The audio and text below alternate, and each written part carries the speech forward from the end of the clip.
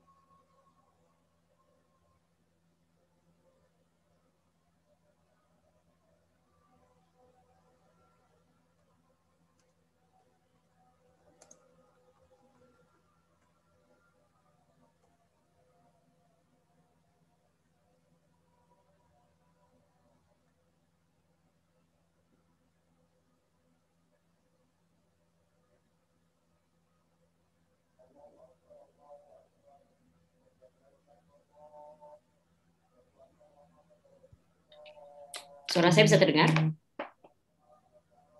Ya, sudah. Oke. Okay. Ya, uh, mohon maaf atas uh, ketidaknyamanannya. Oke, okay, uh, selamat malam. Assalamualaikum warahmatullahi wabarakatuh. Sejawat sekalian, uh, saya Sasmaya yang akan memoderatori uh, webinar kali ini.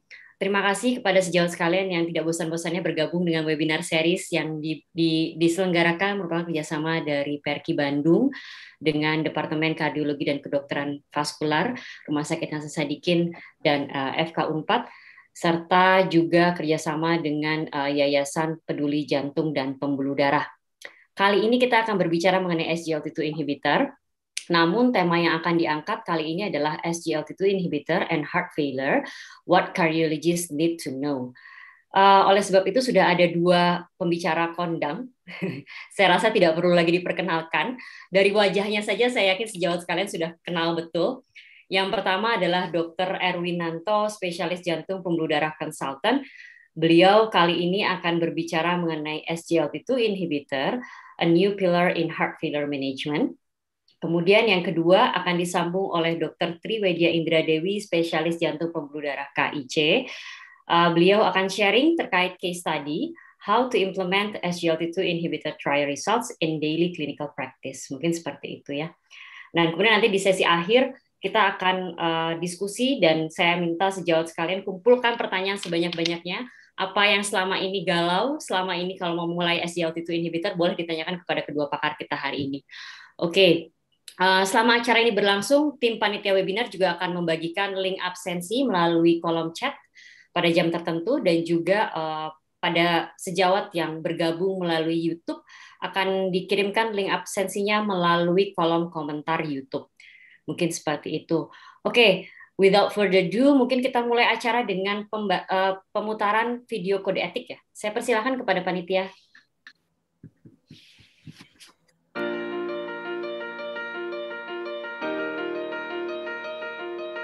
Patient safety atau keselamatan pasien merupakan suatu sistem yang dibuat di rumah sakit untuk mencegah cedera yang diakibatkan karena kesalahan saat melakukan tindakan yang tidak seharusnya. Penyelenggaraan keselamatan pasien di rumah sakit diatur dalam Peraturan Menteri Kesehatan Nomor 11 Tahun 2017. Menurut pasal 1 ayat 1, definisi dari keselamatan pasien adalah suatu sistem yang membuat asuhan pasien lebih aman, meliputi asesmen resiko, identifikasi dan pengelolaan resiko pasien, pelaporan dan analisis insiden, kemampuan belajar dari insiden dan tindak lanjutnya, serta implementasi solusi untuk meminimalkan timbulnya resiko dan mencegah terjadinya cedera yang disebabkan oleh kesalahan akibat melaksanakan suatu tindakan atau tidak mengambil tindakan yang seharusnya diambil. Menurut pasal 1 ayat 2, definisi dari insiden keselamatan pasien adalah setiap kejadian yang tidak disengaja dan kondisi yang mengakibatkan atau berpotensi mengakibatkan cedera yang dapat dicegah pada pasien. Setiap fasilitas pelayanan kesehatan harus menyelenggarakan keselamatan pasien. Penyelenggaraan keselamatan pasien dilakukan dengan menerapkan tiga hal, yaitu standar keselamatan pasien, sasaran keselamatan pasien, dan tujuh langkah menuju keselamatan pasien. Menurut pasal 5 ayat 4, standar keselamatan pasien meliputi tujuh standar, yaitu satu Hak pasien 2. Pendidikan bagi pasien dan keluarga 3. Keselamatan pasien dalam kesinambungan pelayanan 4. Penggunaan metode peningkatan kinerja untuk melakukan evaluasi dan peningkatan keselamatan pasien 5. Peran kepemimpinan dalam meningkatkan keselamatan pasien 6 Pendidikan bagi staf tentang keselamatan pasien. 7. Komunikasi merupakan kunci bagi staf untuk mencapai keselamatan pasien.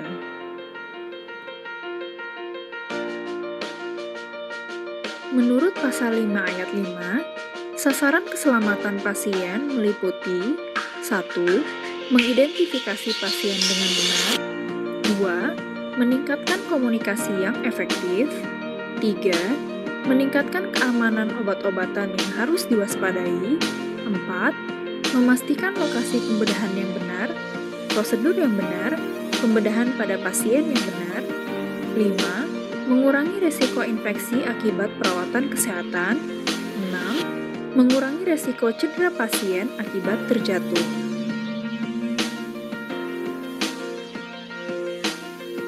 Menurut pasal 14 ayat 1, insiden di fasilitas pelayanan kesehatan meliputi empat insiden, yaitu kondisi potensial cedera, kejadian nyaris cedera, kejadian tidak cedera, dan kejadian tidak diharapkan. Kondisi potensial cedera atau KPC merupakan kondisi yang sangat berpotensi untuk menimbulkan cedera, tetapi belum terjadi insiden. Kejadian nyaris cedera atau KNC merupakan terjadinya insiden yang belum sampai terpapar ke pasien. Kejadian tidak cedera atau KTC merupakan insiden yang sudah terpapar ke pasien, tetapi tidak timbul cedera. Kejadian tidak diharapkan atau KTD merupakan insiden yang mengakibatkan cedera pada pasien.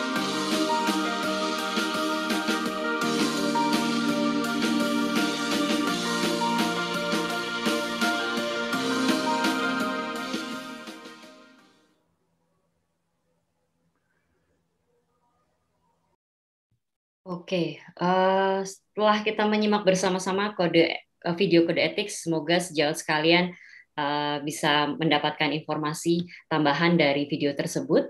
Uh, mungkin sekarang saya langsung saja memperkenalkan uh, pembicara pertama kita yang memang kita tahu bahwa SGLT2 inhibitor sudah banyak sekali ya dibicarakan di webinar nasional maupun internasional. Tapi kita tahu sendiri bahwa obat-obatan heart failure ini sudah sangat banyak ya, mulai dari 2010 sampai dengan saat ini itu sudah banyak sekali obat-obatan. Mungkin yang menarik nanti akan dibicarakan oleh Dr. Erwin adalah tepatnya posisi daripada SGLT2 inhibitor di obat-obatan baru heart failure itu seperti apa.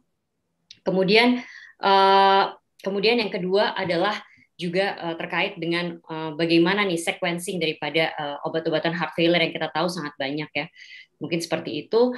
Uh, mungkin saya akan bacakan dulu CV daripada Dr. Erwin sebagai pembicara pertama. Walaupun beliau sudah sangat terkenal, tapi saya tetap harus membacakan uh, CV-nya sebagai tugas saya sebagai moderator. Dr. Erwin uh, merupakan staf di uh, Fakultas Kedokter uh, di Departemen Kardiologi dan Kedokteran Vaskular uh, Rumah Sakit Hasan Bandung, Fakultas Kedokteran Universitas Pajajaran. Beliau anggota beliau adalah Presiden INASH kali ini uh, dan juga uh, beliau adalah tentu saja member daripada Perki uh, Indonesia eh, Perki ya. Oke, okay, uh, silahkan Dr. Erwin. Without further ado, saya persilahkan tempat dan waktu untuk membahas mengenai SGLT2 inhibitor. Silahkan dok. Terima kasih. Saya share screen.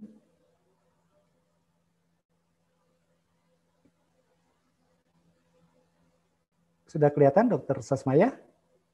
Uh, sudah dok. Oke, okay. uh, eh, ini adalah disclosure saya.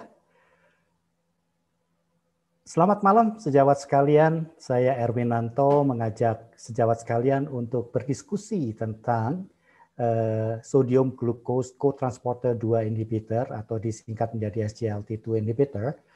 Uh, dan SGLT2 inhibitor sekarang menjadi satu tonggak dalam manajemen uh, gagal jantung. Sejawat sekalian, SGLT2 inhibitor merupakan obat yang banyak di, atau boleh dibilang paling banyak dibicarakan dalam bidang kardiovaskuler akhir-akhir ini. Ada dua alasan mengapa SGLT2 inhibitor banyak dibicarakan. Alasan pertama adalah SGLT2 inhibitor merupakan obat pertama, obat anti diabetik pertama yang berhasil menurunkan mortalitas kardiovaskuler dan risiko gagal jantung bila diberikan pada pasien dengan type 2 diabetes. Jika diberikan pada pasien dengan type 2 diabetes yang disertai dengan multiple risk factors, SGLT2 inhibitor menurunkan risiko gagal jantung. Jika diberikan pada pasien dengan type 2 diabetes yang disertai dengan atherosclerotic cardiovascular disease, SGLT2 inhibitor tidak hanya menurunkan risiko gagal jantung, tetapi juga menurunkan risiko kematian kardiovaskuler. Hal kedua yang menyebabkan SGLT2 inhibitor banyak dibicarakan adalah ternyata SGLT2 inhibitor bukan hanya merupakan obat anti diabetik, tetapi juga pasi, uh, obat anti gagal uh, obat gagal jantung. Jika diberikan pada pasien gagal jantung dengan dan tanpa diabetes, SGLT2 inhibitor menurunkan uh, kematian kardiovaskular dan risiko uh, uh, gagal jantung dalam hal Eh, penurunan hospitalisasi gagal jantung. Saya akan mengawali presentasi saya dengan memperlihatkan bukti-bukti bahwa penurunan eh, gula darah secara intensif tidak berpengaruh terhadap penurunan morbiditas dan mortalitas. Mengapa saya membicarakan hal ini di awal? Eh, saya berharap dengan mengetahui hal ini, mengetahui bahwa intensif glucose lowering itu tidak mempunyai impact pada morbiditas mortalitas kardiovaskuler, maka sejawat tahu bahwa penurunan morbiditas mortalitas yang diakibatkan oleh SGLT2 inhibitor bukan disebabkan oleh penurunan eh, gula darah. Awalnya memang diper, eh, diperkirakan terdapat hubungan sebab akibat antara peningkatan gula darah pada pasien diabetes dengan kejadian kardiovaskuler seperti penyakit arteri perifer, gagal jantung, PJK, penyakit jantung koroner, dan stroke iskemik. Mengapa? Karena studi-studi observasional menunjukkan pasien dengan type 2 diabetes mempunyai risiko untuk mengalami kejadian kardiovaskuler tersebut satu setengah sampai tiga kali lebih tinggi dari pasien-pasien yang non diabetik pernyataan bahwa peningkatan kejadian kardiovaskuler pada pasien type 2 diabetes itu disebabkan oleh peningkatan gula darah perlu uh, mendapat perlu di uh, challenge. Mengapa? Karena peningkatan HB sebuah studi observasional menyatakan bahwa peningkatan HbA1c itu tidak meningkatkan kejadian kardiovaskuler secara bermakna dan kepastian bahwa tidak terdapat hubungan sebab akibat antara peningkatan gula darah pada pasien type 2 diabetes dengan kejadian kardiovaskuler datang dari studi-studi randomized clinical trial, salah satunya adalah studi advance. Pada studi advance ini, penurunan HbA1c pada pasien type 2 diabetes yang disertai dengan penyakit kardiovaskuler sampai mencapai 6,5 eh, persen tidak menurunkan morbiditas dan mortalitas kardiovaskuler dalam hal uh, infak miokard, stroke iskemik, da, uh, dan kematian kardiovaskuler. Jadi kita confirm bahwa peningkatan kejadian kardiovaskuler pada pasien dengan type 2 diabetes bukan disebabkan oleh peningkatan uh, gula darah. Dan tidak hanya itu, penurunan gula darah yang diakibatkan oleh obat anti diabetik juga tidak menurunkan risiko uh, gagal jantung. Jadi penurunan uh, gula darah pada pasien type 2 diabetes menggunakan obat-obat anti diabetik tidak menurunkan infak, tidak menurunkan stroke, tidak menurunkan risiko gagal jantung dan tidak menurunkan mortalitas. Bagaimana caranya kita menurunkan morbiditas dan mortalitas pada pasien type 2 diabetes? Sebuah studi kecil yang bernama studi Steno eh, membuat kita berpikir bahwa kalau kita ingin menurunkan morbiditas dan mortalitas kardiovaskuler pada pasien type 2 diabetes, maka kita harus mendekati semua risk factor, tidak hanya gula darah. Gula darahnya diturunkan, kolesterolnya diturunkan, Eh, tekanan darahnya diturunkan dan baru akan terjadi penurunan morbiditas dan mortalitas kardiovaskuler. Dok, mohon maaf dok, ini uh, terlihat sepertinya slide-nya agak ketutup dok bagian atasnya. Oh sorry. Oleh dokter N N atau N uh, share screen-nya di di stop dulu, kemudian coba di share screen lagi. Stop dulu. Di stop dulu. Iya dok, coba dok. Oke, okay, terus? Coba masuk lagi dok. Soalnya okay. kok ternyata masih terpotong tadi. Kita lihat sekarang. Ini ini juga terpotong ya? Coba sebentar. Belum keluar, Dok. Nah, ini sudah tidak, Dok. Ini tidak terpotong. Sudah sudah tidak terpotong. Coba okay, uh, boleh boleh di next next dulu, Dok. Boleh saya lihat selanjutnya atau sebelumnya yang sebelumnya, Dok? Oke, sebelumnya, Dok, boleh. Maaf sebelumnya. Slide sebelum ini. Udah, udah ini. Oke, ya, ya. Oke, Dok. Sudah aman udah. sekarang. Oke. Aman ya? Oke. Ya. Jadi bagaimana kita menurunkan morbiditas mortalitas kardiovaskuler pada pasien type 2 diabetes adalah kontrolah semua faktor risiko. Ini menjadi hipotesis. Nah, kemudian secara mengejutkan dan tidak diperkirakan sebuah obat antidiabetik yang bernama sodium glucose cotransporter 2 inhibitor ternyata menurunkan morbiditas dan mortalitas kardiovaskuler disebut mengejutkan dan tidak diperkirakan karena kita tidak mengetahui mekanisme yang sebenarnya yang bertanggung jawab terhadap penurunan morbiditas dan mortalitas kardiovaskuler, tetapi yang pasti bahwa bukan disebabkan oleh penurunan gula darah.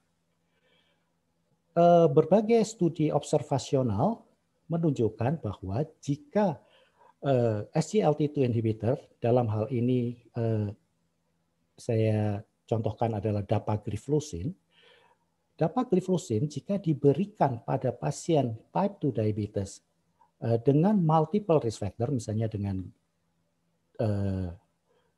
hipertensi, kemudian dislipidemia, ternyata menurunkan risiko gagal jantung. Dan penurunan risiko gagal jantung yang sebesar eh, 38% itu bermakna. Dan yang menarik adalah penurunan risiko gagal jantung itu sudah terjadi di awal terapi eh, dapagliflozin diberikan. Dan jika SGLT2 inhibitor dalam hal ini sekali lagi adalah eh, saya menggunakan dapagliflozin, jika dapagliflozin diberikan pada pasien dengan atherosclerotic cardiovascular disease, dia tidak hanya menurunkan risiko gagal jantung, tetapi juga menurunkan kematian kardiovaskuler secara bermakna sebesar 17 persen. Yang disebut atherosclerotic cardiovascular disease yang mendapatkan keuntungan dari SGLT2 inhibitor adalah satu pasien dengan penyakit jantung koroner, penyakit arteri perifer, dan stroke iskemik. Jadi kesimpulannya, sejawat sekalian, SGLT2 inhibitor dalam hal ini saya contohkan adalah dapagliflozin jika diberikan pada pasien type 2 diabetes yang disertai dengan multiple risk factor akan menurunkan hospitalisasi gagal jantung berarti risiko gagal jantung jika diberikan pada pasien type 2 diabetes yang disertai dengan atherosclerotic cardiovascular disease tidak hanya menurunkan risiko gagal jantung, tetapi juga menurunkan uh, kematian kardiovaskuler. Dan oleh karena itu, pada tahun 2020, American College Cardiology bersama dengan American Diabetes Association mengeluarkan expert consensus. Pasien dengan type 2 diabetes yang disertai dengan atherosclerotic cardiovascular disease atau multiple risk factor yang tidak hamil atau tidak menyusui yang mempunyai IGFR tertentu, nanti saya akan bicarakan hal ini lebih uh, jelas sesudahnya, itu direkomendasikan untuk mendapatkan SGLT2 inhibitor. Dan SGLT2 inhibitor yang direkomendasikan adalah kanagliflozin, dapagliflozin atau empagliflozin. Jadi tiga SGLT2 inhibitor ini. Uh, syarat dari IGFR untuk pasien dengan ISCVD atau uh, pasien type 2 diabetes dengan ISCVD atau dengan multiple risk factor adalah jika IGFR-nya itu uh, 45 atau lebih. Un, baik untuk uh, dapagliflozin maupun untuk empagliflozin ini adalah uh, syarat IGFR menurut FDA, US FDA dan juga menurut uh, Badan POM Indonesia. Tetapi di dalam uh, guideline itu mereka memperbolehkan pemberian SGLT2 inhibitor jika saya ulang ke atas itu adalah jika IGFR-nya kurang dari 30. Jadi terserah sejawat. Kalau sejawat mengikuti guideline dia kurang dari 30, tetapi kalau mengikuti US FDA atau mengikuti uh, Badan POM Indonesia itu adalah uh, sorry 30 atau lebih kalau menurut US FDA uh, uh, menurut uh, guideline, kalau menurut US FDA atau Badan POM Indonesia itu adalah 45 atau lebih. Itu adalah syarat uh, IGFR-nya. Dan oleh karena adanya hasil penelitian-penelitian tersebut, maka paradigma penggunaan obat antidiabetik pada pasien type 2 diabetes dengan penyakit kardiovaskuler atau dengan uh, multiple risk factor berubah. Awalnya metformin itu first line. Sekarang untuk pasien dengan cardiovascular disease dalam hal ini adalah ASCVD dan multiple factor digeser uh, menjadi SGLT2 inhibitor dan metformin menjadi second line. Jadi pada pasien yang type 2 diabetes naif yang belum pernah diobati dengan SGLT2 inhibitor yang mempunyai ICVD atau multiple risk factor, maka pasien itu segera berikan SGLT2 inhibitor. Metformin menjadi second line. Jika pasien itu sudah on metformin, maka tambahkan SGLT2 inhibitor. Nah, selain SGLT2 inhibitor yang menjadi pilihan pada pasien dengan ICVD, dan moderate uh, dan dan uh, multiple factor uh, terutama untuk ICVD itu adalah GLP-1 uh, reseptor agonis. Pertanyaannya adalah saya memilih SGLT2 inhibitor atau GLP-1 reseptor agonis bagi pasien type 2 diabetes yang disertai dengan ICVD. Sejawat boleh memilih dua-duanya, tetapi yang perlu sejawat ketahui bahwa jika sejawat menggunakan SGLT2 inhibitor, dia ber, eh, berhasil menurunkan mortalitas kardiovaskuler ditambah dengan menurunkan risiko eh, gagal jantung. Kalau sejawat memilih GLP-1 reseptor antagonis, dia menurunkan mortalitas kardiovaskuler tetapi mempunyai efek yang netral terhadap risiko gagal jantung. Jadi pendapat saya pribadi adalah SGLT2 inhibitor mempunyai keuntungan yang lebih banyak karena dia juga eh, menurunkan risiko gagal jantung yang tidak dipunyai oleh GLP-1 reseptor antagonis. Pertanyaan kedua adalah mengingat bahwa SGLT2 inhibitor menurunkan mortalitas, GLP-1 juga menurunkan mortalitas kardiovaskuler, apakah sebaiknya saya gabungkan? kita belum mempunyai jawaban untuk pertanyaan itu mengingat bahwa belum ada studinya.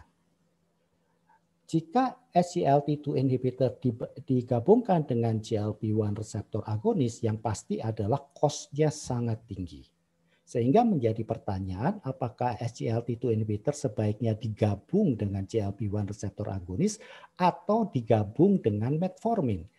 Sejawat boleh pilih terserah, tetapi jika sejawat menggabungkan dengan metformin, metformin mempunyai keunggulan. Satu, dia aman, mengingat bahwa dipergunakan pada sebagian besar studi-studi outcome eh, pasien dengan type 2 diabetes. Yang kedua, metformin itu diakui sebagai second line.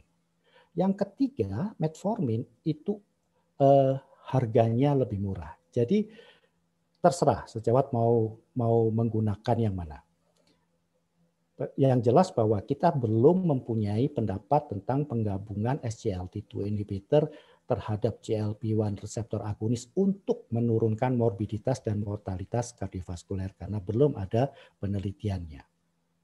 Nah, mengapa saya membicarakan hal itu padahal fokus saya adalah sebetulnya gagal jantung hipotesis yang menyatakan bahwa SGLT2 inhibitor menurunkan mortalitas kardiovaskuler dan uh, hospitalisasi gagal jantung pada pasien dengan uh, gagal jantung itu sebetulnya merupakan hipotesis yang muncul karena penelitian-penelitian yang sudah saya sebutkan terdahulu. Dan akibat dari penelitian-penelitian yang saya sebutkan terdahulu, kita mencatat beberapa hal yang dipakai untuk membuat hipotesis. Satu, Eh, penelitian-penelitian yang tadi saya sebutkan dari SGLT2 inhibitor itu menurunkan risiko gagal jantung dengan kuat. Kalau diberikan pada pasien type 2 diabetes dengan eh, dan tanpa penyakit kardiovaskuler, dia menurunkan risiko gagal jantung. Berarti dia kuat. Yang kedua, SGLT2 inhibitor mempunyai efek teoretik. Ketiga, SGLT2 inhibitor eh, mempunyai efek vasodilator. Dan yang keempat, SGLT2 inhibitor memproteksi ginjal, di mana semua faktor-faktor itu berpengaruh terhadap luaran gagal jantung. Dan oleh karenanya dibuatlah hipotesis bahwa SGLT2 inhibitor menurunkan eh, kematian kardiovaskuler dan hospitalisasi gagal jantung pada pasien yang sudah mempunyai gagal jantung dengan dan tanpa diabetes. Itu adalah hipotesisnya. Dan studi yang bernama DAPA-HF menggunakan dapagliflosin 10 mg merupakan studi pertama yang uh, uh, menguji hipotesis tersebut. Dan jika nanti ternyata studi DAPA-HF menunjukkan bahwa hipotesis tersebut adalah benar, maka SGLT2 inhibitor dalam hal ini adalah dapagliflosin harus dianggap sebagai obat uh, gagal jantung, tidak hanya obat antidiabetik. Dan seperti yang tadi saya telah sebutkan bahwa pada pasien DAPA HF itu pas uh, mas, dimasukkan pasien dengan DM dan pasien yang tanpa DM. Dan yang pasien tanpa DM itu lebih besar dibandingkan dengan pasien DM. Pasien tanpa DM itu eh, sekitar 60 persen. Jadi lebih banyak pasien tanpa DM yang masuk dalam studi DAPA-HF. Dan pasien yang dimasukkan ke dalam studi DAPA-HF itu adalah pasien-pasien yang seperti pasien kita sehari-hari. Sebagian besar pasien dengan NIHA kelas 2, dan pasien-pasien tersebut merupakan pasien dengan gagal jantung yang relatif berat yang dinyatakan dengan fraksi ejeksi yang rendah, NT-proBNP yang tinggi, hampir 50% pernah meng, eh, eh, dihospitalisasi karena gagal jantung, dan sekitar 40% mempunyai IGFR kurang dari 60. Jadi ini sama seperti pasien eh, kita sehari-hari dan seperti yang diharapkan ternyata studi DAPA-HF menggunakan dapagliflosin 10 mg berhasil uh, menjawab hipotesis tersebut. Hospitalisasi gagal jantung dan mortalitas kardiovaskuler turun sebesar 26% secara bermakna. Dan sekali lagi terlihat bahwa dari Kaplan-Meier curve-nya bahwa eh, penurunan mortalitas dan risiko gagal jantung sudah muncul di awal terapi eh, dapagliflosin diberikan. Hal ini meyakinkan kita bahwa eh, SGLT2 inhibitor sebaiknya dimulai sesegera mungkin pada pasien dengan gagal jantung dengan dan tanpa diabetes. Dan penurunan mortalitas kardiovaskuler dan penurunan hospitalisasi gagal jantung juga terjadi pada pasien-pasien tanpa diabetes. Sehingga confirm bahwa SGLT2 inhibitor dalam hal ini adalah dapagliflozin menur, e, merupakan obat bukan hanya obat antidiabetik tetapi juga merupakan obat gagal jantung. Dan juga confirm bahwa penurunan risiko kardiovaskuler yang diakibatkan oleh dapagliflosin pada pasien gagal jantung dengan dan tanpa diabetes itu tidak dipengaruhi oleh penurunan gula darah.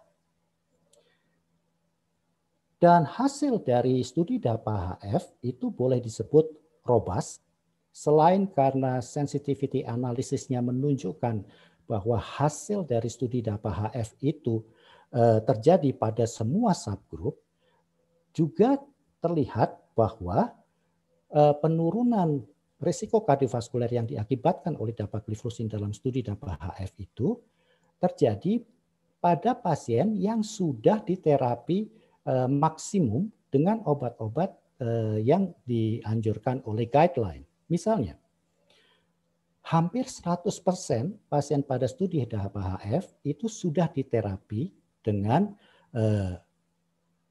ACE inhibitor atau ARB atau neprilysin uh, sakup neprilis valsartan. Hampir 100% diterapi dengan beta blocker hampir 3 per 4 eh, pasien diterapi dengan MRA dan sekitar eh, sepertiga pasien diterapi dengan device. Jadi sebetulnya resiko yang ditinggalkan oleh terapi-terapi ini relatif kecil dan masih bisa diturunkan lagi oleh dapagliflozin 10 mg. Dan jika eh, dapagliflozin diberikan pada pasien eh, gagal jantung dengan type 2 diabetes, dapagliflozin dapat dikombinasikan dengan semua obat antidiabetik dan sekali lagi terlihat bahwa hampir lima, uh, sekitar 50% pasien pada studi DAPA HF membuat, uh, memakai metformin karena memang metformin adalah obat yang paling banyak dipergunakan dalam studi-studi uh, uh, type 2 diabetes untuk keluaran kardiovaskuler. Dan masuk akal jika kita berpikir bahwa Obat antidiabetik seperti dapagliflozin jika diberikan pada pasien yang tanpa diabetes dapat menyebabkan hypoglycemia. Eh, pendapat itu tidak terbukti pada studi DAPA-HF karena hypoglycemia tidak terjadi berbeda antara pasien yang mendapatkan dapagliflozin dan pasien yang mendapatkan placebo. Tetapi tetap dianjurkan bagi sejawat yang memberikan dapat gliflosin pada pasien eh, gagal jantung tanpa diabetes, tetap kita harus mengobserv kemungkinan munculnya hypoglycemia. Sesudah studi DAPA HF dipublish, muncullah beberapa studi yang membuktikan bahwa SGLT2 inhibitor jika diberikan pada pasien Eh, gagal jantung itu menurunkan mortalitas kardiovaskuler dan risiko eh, dan hospitalisasi gagal jantung.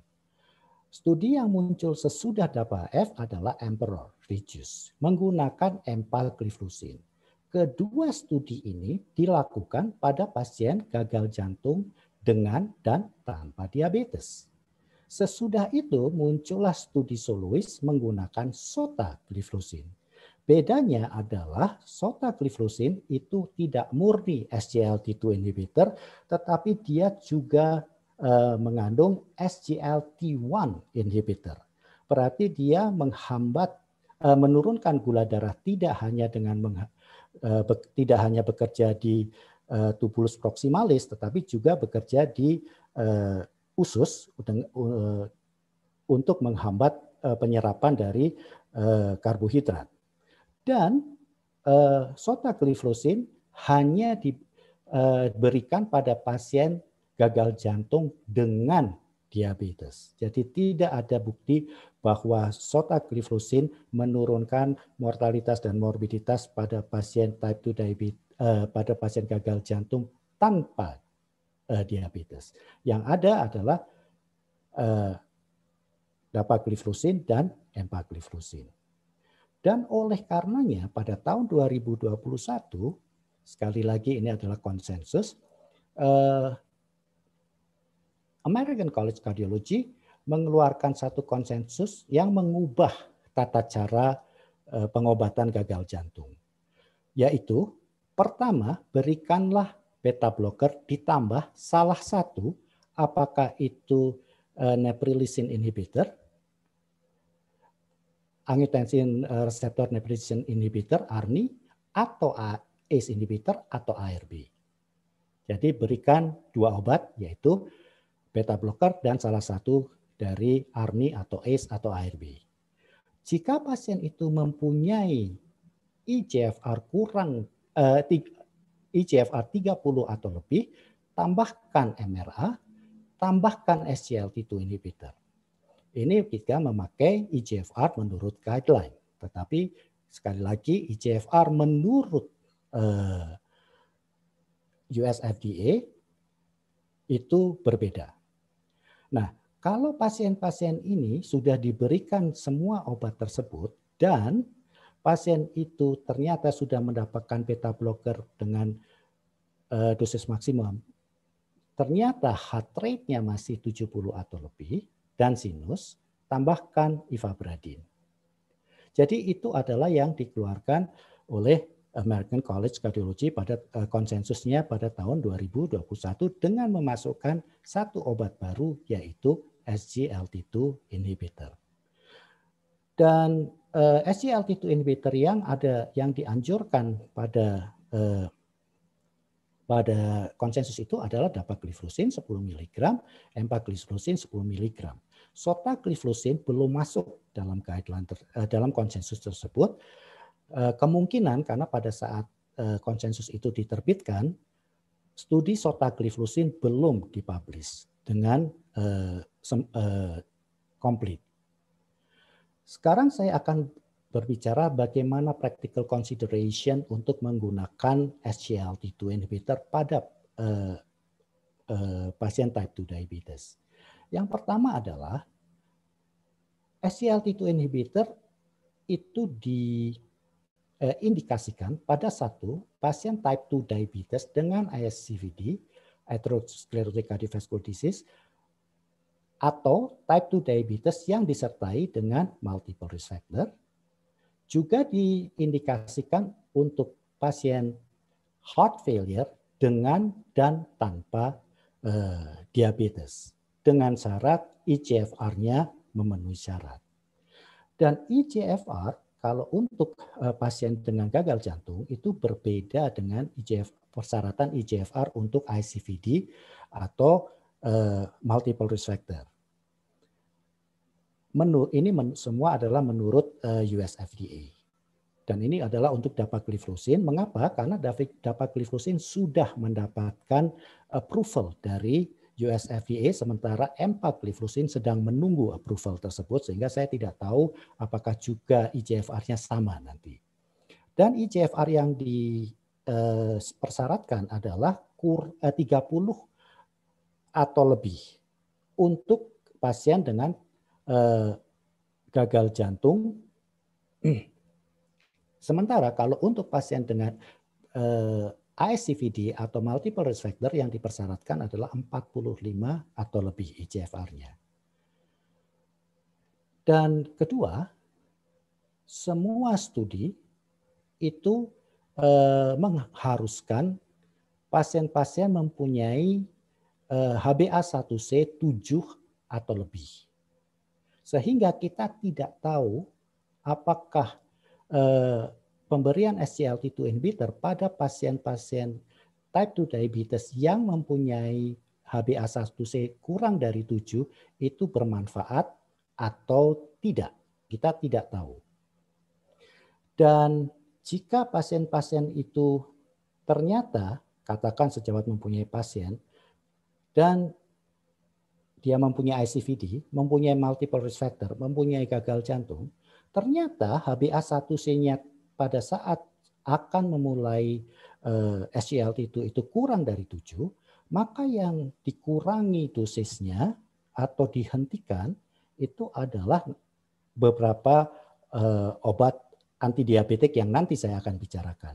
Jadi kurangi dosis atau hentikan uh, obat antidiabetik yang lain yang nanti saya akan bicarakan dan masukkanlah SGLT2 inhibitor jika pasiennya type 2 diabetes disertai dengan ICVD, disertai dengan multiple risk factor, atau pasiennya mempunyai gagal jantung eh, yang disertai dengan type 2 diabetes. Jadi itu tentang HbA1c. Dan hal lain adalah seperti yang tadi saya katakan bahwa SGLT2 inhibitor itu memproteksi ginjal dalam artian menghambat penurunan IGFR walaupun dia menghambat penurunan IGFR, IGFR tetap turun. Dan yang saya ingin sampaikan kepada sejawat bahwa penurunan itu biasanya pada dua minggu pertama yang besar. Sesudah itu dia mulai naik uh, sesudah uh, dua minggu. Nah, yang saya ingin sampaikan adalah IGFR eh, yang turun jangan membuat sejawat menghentikan SGLT2 inhibitor kecuali jika IGFR pasien dengan gagal jantung tersebut turun di bawah 30. Kalau di bawah 30 maka dia harus memang dihentikan. Tapi sebelum dia turun di bawah 30 jangan dihentikan. Dan ada beberapa hal yang sejawat eh, hendaknya catat. Karena SGLT2 mempunyai efek diuretik, maka sebaiknya sejawat mengadjust loop diuretiknya dengan cara mengukur berat badan dan melihat simptom sehingga jangan sampai terjadi uh, volume depletion. Jika terjadi volume depletion, yang kita takutkan selain volume depletionnya sendiri adalah terjadinya uh, euglycemic uh, diabetic ketoacidosis. Jadi adjust diuretiknya. Yang kedua adalah seperti tadi saya bilang, jika target dari HbA1c-nya itu sudah uh, tercapai, katakan dia kurang dari 7 atau sejawat ingin memasukkan SGLT2 eh, inhibitor pada pasien yang belum mendapatkan SGLT2 inhibitor dan pasiennya mempunyai HP kurang dari 7, maka yang dihentikan terlebih dahulu adalah misalnya sulfonylurea atau DPP4 eh, inhibitor. Sementara itu, jika sejawat ingin menurunkan insulin, terutama adalah basal insulin, maka turunkanlah dengan hati-hati dan dianjurkan untuk eh, berkomunikasi dengan spesialis diabetes. Mengapa? Karena kita takutkan terjadi euglycemic eh, diabetic ketoacidosis. Kemudian kalau pasiennya itu dalam keadaan sakit atau keadaan yang menyebabkan intake eh, berkurang, misalnya sakit uh, infeksi atau sebelum major uh, sebelum apa namanya major surgery, maka jangan diberi hentikan pemberian SGLT2 inhibitor karena keadaan ini jika pemberian SGLT2 inhibitor dilakukan pada keadaan-keadaan seperti ini, sekali lagi itu akan menyebabkan uh, berpotensi untuk menyebabkan euglycemic uh, diabetic ketoacidosis. Kemudian perhatikan hipotensi karena pasien eh, SGLT2 inhibitor menyebabkan volume depletion dan mempunyai efek uh, vasodilatasi. Dan yakinkan kepada pasien untuk uh, mem, uh, melakukan hygiene uh, apa namanya uh, kebersihan perineal Mengapa? Karena salah satu uh, efek samping dari SGLT2 inhibitor adalah infeksi genital, ya, genital, ya, infeksi genital. Pada pria dapat menyebabkan fimosis atau balanitis, terutama pada pria yang tidak uh, menjalani sirkumsisi. Pada wanita sering uh, dapat menyebabkan uh, infeksi jamur. Jadi kebersihan perineal itu hendaknya dijaga. Itu yang harus di, di sejawat lakukan dan di counseling pada pasien. Jadi take home message dari saya sejawat sekalian, mengingat bahwa SGLT2 inhibitor, diindikasikan pada pasien-pasien gagal jantung dengan dan tanpa diabetes, dalam hal ini adalah dapagliflozin atau empagliflozin, dengan syarat pasiennya mempunyai IGFR 30 atau lebih, untuk sementara ini yang sudah mendapatkan syarat itu dari FDA adalah dapagliflozin, sementara empagliflozin sedang menunggu uh, approval. Dibuatlah sebuah uh, studi observasional untuk melihat berapa banyak sih orang yang gagal jantung dengan fraksi ejeksi kurang dari 40 yang mempunyai IGFR uh, 30 atau lebih. Dan didapatkan bahwa 4 dari 5 pasien gagal jantung itu mempunyai IGFR 30 atau lebih sehingga mereka lah yang merupakan kandidat untuk eh, SGLT2 inhibitor. Sehingga disimpulkan bahwa 80% dari pasien gagal jantung dengan fraksi ejeksi kurang dari 40 itu merupakan kandidat dari SGLT2 inhibitor. Jadi kita bisa bayangkan bahwa uh, kandid, uh, pasien yang yang yang diindikasikan untuk SGLT2 inhibitor itu cukup besar. Saya kira ini yang bisa saya sampaikan untuk sejawat sekalian dan semoga ada gunanya bagi praktek sejawat sehari-hari. Terima kasih. Saya kembalikan kepada Dr. Sasmaya. Ya, terima kasih Dokter Erwin. Uh, luar biasa penjelasannya sangat jelas. Uh, kami sekarang menjadi tahu setidaknya bagaimana sih posisi daripada SGLT2 inhibitor, kemudian dasar-dasar daripada penelitiannya, evidence evidence base-nya, dan kemudian clinical practical yang harus kita perhatikan sebelum kita memulai SGLT2 inhibitor. Oke, okay. uh, kita akan mengaplikasikan apa yang sudah disampaikan oleh Dokter Erwin ke dalam case yang akan disampaikan oleh Dokter Triwedia Indra Dewi uh, yang pada kali ini saya akan membacakan CV-nya terlebih dahulu. Dokter Ade ini um, staf juga di uh, Departemen Kardiologi dan Kedokteran Vaskular Rumah Sakit Hasan Sadikin Bandung dan FK Unpad. Uh, beliau uh, adalah konsultan intensif care. Kemudian um, mungkin beliau ini juga bagian daripada INAHF ya, anggota daripada INAHF. Baik, Dokter Ade, saya persilahkan untuk sharing case study yang judulnya adalah How to Implement SGLT2 Inhibitor Trial Results in Daily Clinical Practice. Silakan, Dokter Ade. Baik, terima kasih, Dokter Sasmaya. Uh, selamat malam, sejawat uh, sekalian. Saya izin untuk uh, share screen dulu ya. Oke. Okay. Baik, apa slide saya sudah terlihat, Dokter Sasmaya? Sudah, sudah terlihat jelas, Dokter Ade. Terima kasih. Baik, selamat malam sekali lagi. Uh, jadi kita akan uh, interaktif ya, dok ya. Jadi saya berharap semuanya sudah siap yang sambil makan, sambil diikuti untuk uh, case sekarang ya. Ini disclosure saya.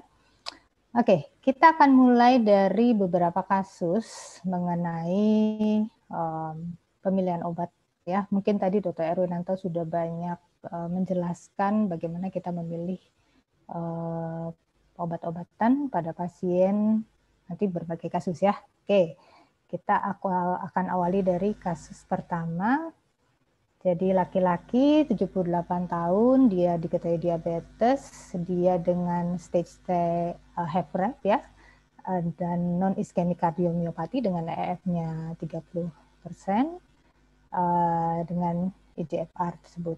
Oke, silahkan untuk uh, pertanyaannya. Ya, yang mana uh, agent yang kita pilih untuk terapi yang berkaitan dengan diabetesnya ya. Tadi sudah disampaikan oleh Dr. Erwinanto, silakan. Waktunya 30 detik. Dokter Sasmaya nggak boleh jawab ya. Nanti jawabannya benar semua. Benar host and panelists can vote. Oh, oke. Okay. Oke. Okay. Silakan kita lihat. Harusnya tadi sangat jelas sekali. Wah, hebat sekali ini ya. Sebagian besar memilih SGLT2, kemudian metformin, dan juga ada GLP-1 receptor agonist dan juga DPP-4 inhibitor ya. Oke, kita lanjut ya. Sorry. Nah, yang tidak boleh diberikan pada kasus di atas. Ya, tadi pasiennya have ref, ya, EF-nya 30%, GFR masih cukup bagus, yang tidak boleh, yang harus kita hindari.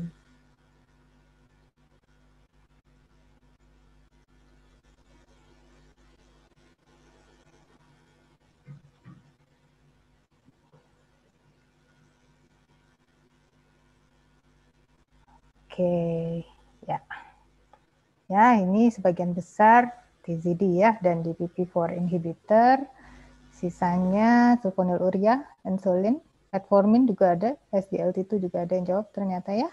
Oke, baik. Kita lanjut ke kasus yang kedua. Uh, jadi ini diakumulasikan dulu ya. Jadi kasus selanjutnya adalah wanita 68 tahun high risk heart failure dengan diabetes. Kemudian dia ada multiple risk factor ya dengan uh, kreatinin tersebut Oke, kita lihat lagi pertanyaannya. Sama, kita mau milihnya yang mana? Silahkan.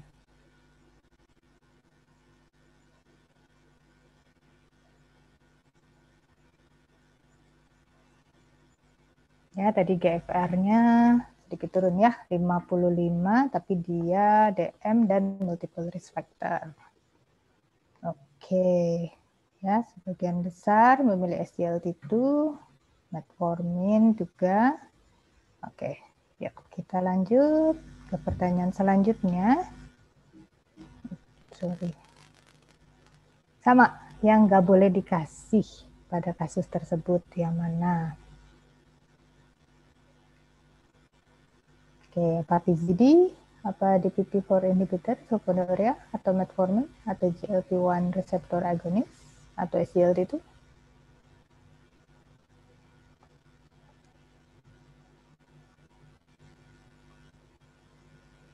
Oke. Iya. Ya, TGD. Oke. DPP-4 inhibitor sebagian besar juga menjawab itu ya. Dan metformin juga. Baik. Kita lanjut ya. Nah, selanjutnya adalah wanita dengan diabetes stage C, HFrEF ya. EF-nya 35 persen, kemudian kreatininnya 25 ya. Kreatinin 25. Pilihannya sekarang mana nih pasiennya diabetes, dia EF-nya rendah, kreatininnya juga rendah.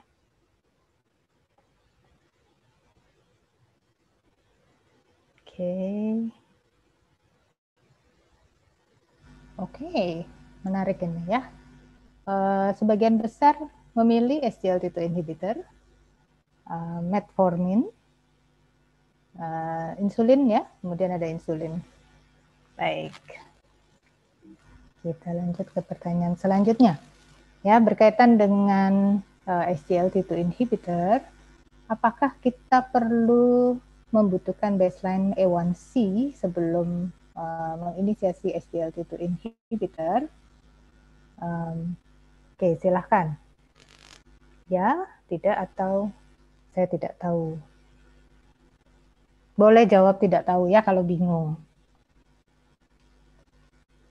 Oke. Okay.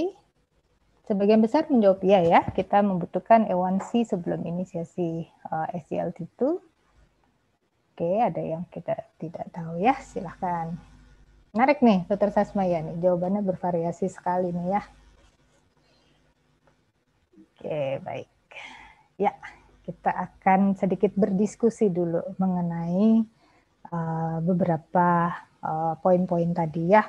Jadi Um, tadi sudah disampaikan oleh Dr. Erwinanto bahwa sebenarnya kita uh, ya pengobatan pada diabetes itu mungkin awalnya adalah targetnya adalah A1C, tetapi uh, seperti dilihat di gambar ini pasien meninggal ya padahal dia A1C-nya sempurna.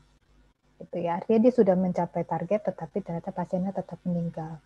Ya, perlu ditekankan di sini bahwa uh, dalam uh, terapi uh, diabetes dalam pencapaian A1C pada type 2 diabetes itu fokusnya lebih untuk ke penurunan terhadap mikrovaskular event yaitu neuropati, retinopati dan juga peripheral neuropati.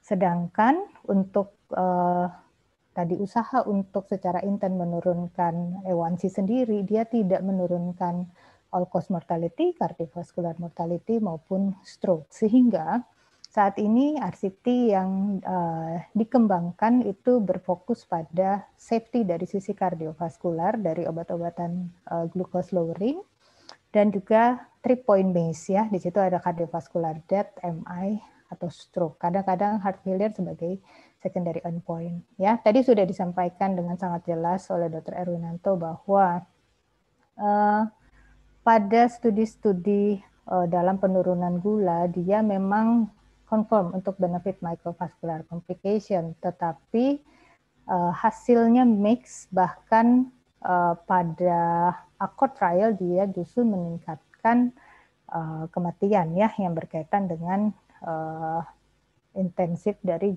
uh, HbA1c itu sendiri. Sehingga tahun 2008 diperlukan syarat yang baru dalam uh, pengembangan obat-obatan gula ya dan juga dari EMA ya uh, harus bisa menunjukkan safety dan juga uh, cardiovascular outcome trial. Ya, ini uh, obat-obatan yang baru ya yang penelitiannya adalah memasukkan three point MACE ya dan juga salah satunya adalah mengenai heart failure hospitalisasi. Nah, kita lihat di sini ada DPP4 inhibitor, ada GLP-1 receptor agonis dan juga SGLT2. Di mana untuk um, ya mungkin kita akan fokus lebih ke heart failure hospitalization pada pemberian DPP4 inhibitor uh, justru risiko untuk terjadinya heart failure hospitalization itu meningkat pada pemberian saxagliptin. Pada GLP-1 receptor agonis dia terhadap heart failure hospitalization dia memiliki efek yang netral, sedangkan pada SGLT2 inhibitor baik EMPA, canagliflozin maupun dapagliflozin dapat menurunkan heart failure hospitalization. Sehingga beberapa jawaban yang tadi disampaikan oleh sejawat sekalian, hal ini menjadi pertimbangan kita dalam pemilihan obat-obat uh, diabetes karena tadi pasiennya adalah semuanya dengan diabetes ya dan uh, tadi ada yang injeksi fraksinya sudah rendah, ada yang uh, masih multiple risk factor saja seperti itu. Dan juga jangan lupa uh, fungsi kreatinin. Nah, um, dalam pemilihan sebagai obat anti diabetes maka kita mempertimbangkan juga kondisi heart failure ya. Ada beberapa data sebelumnya mengatakan bahwa uh, insulin dia dapat meningkatkan uh, risiko dari uh, kematian atau heart failure hospitalization ya, yang kemudian juga uh, begitu pula dengan sulfonylurea ya, uh, dan um, PZD tentu dia karena sifatnya bisa meretensi cairan sehingga dia kontraindikasi tidak boleh diberikan pada pasien-pasien dengan heart failure. Oke, bagaimana dengan metformin? Ya, metformin tadi uh, kalau sudah disampaikan oleh Dr. Erwin, ya dia second line, dia bilang gitu ya. Tapi uh, ini adalah obat yang cukup familiar ya, dokternya familiar, dia efektif, dia cukup aman, dia well tolerated, biayanya murah dan available-nya hampir di ya cukup luas gitu ya. Dan beberapa penelitian-penelitian besar yang berkaitan dengan SGLT2 inhibitor itu uh, sebagian besar menggunakan metformin sebagai uh, baseline dari uh, terapinya dan uh, bisa digunakan pada pasien dengan heart failure apabila syaratnya adalah GFR-nya masih di atas 30 dan belum ada CPOT yang desain trial dalam uh, efek dari metformin terhadap cardiovascular event. Nah, bagaimana dengan SGLT2 inhibitor? Ini adalah beberapa penelitian dari SGLT2 inhibitor yang uh, sudah ada maupun yang sedang berjalan ya. Uh, populasinya bermacam-macam. Ada yang mix dari sisi ejeksi fraksi, yaitu yang ada yang ejeksi fraksi yang combine yang preserve maupun yang reduce, ataupun dari uh, diabetes status ya. Mungkin untuk pada malam hari kita akan lebih fokus ke diskusi yang pada uh, ya. Nah, untuk dampak sendiri SGLT itu pada pasien-pasien uh, di sini pada diabetes ya, uh, kita lihat bahwa pada empiric outcome, kemudian dari Canvas ataupun declare TIMI uh, terhadap uh, established ICPD, dia uh, menurunkan MACE kecuali uh, di sini kita lihat pada diklatimi dia tidak menurunkan MACE, tapi secara overall ya pada kesemua dari heart failure hospitalization itu dapat uh, diturunkan dengan pemberian SGLT2. Ya mungkin tadi sudah disampaikan juga oleh Dr. Erwin, kita targetnya mau apa? Kita apakah sebagai secondary prevention ataupun sebagai primary prevention? Kalau pada primary prevention, maka SGLT itu dapat menurunkan hospitalization heart failure dan juga renal protection. Sedangkan pada uh, populasi yang memang dengan ASCVD, maka uh, pemberian SGLT2 itu dapat menurunkan uh, major adverse cardiovascular event. Oke, ini juga tadi sudah disampaikan ya syukurnya ya. Jadi pada pasien pemilihan pertimbangan kita dalam pemilihan obat diabetes, kita perlu menentukan apakah populasi pasien kita adalah pasien-pasien dengan ICPD atau multiple risk factor di mana ya SGLT itu dapat menjadi pilihan dalam pemilihan pada pasien-pasien diabetes yang belum mendapatkan metformin ya. Sedangkan kalau dia sudah mendapatkan metformin, maka kita juga bisa melakukan uh, evaluasi apakah memang pasien ini memiliki ICPD atau uh, multiple risk factor sehingga ada tempatnya juga untuk kita tambahkan di sini. Ya, ini dari ADA. Uh, mereka juga memasukkan uh, pemilihan uh, SGLT2 di sini, tetapi kita menilai apakah memang yang dominan adalah ICPD atau heart failure atau CKD ya. Jadi intinya adalah kalau ada sakit pada jantung ataupun dari ginjal maka kita dapat memilih SGLT2 inhibitor yang memang mempunyai uh, evidence dalam menurunkan heart failure atau progresivitas dari uh, uh, CKD. Oke, kita lanjut ya.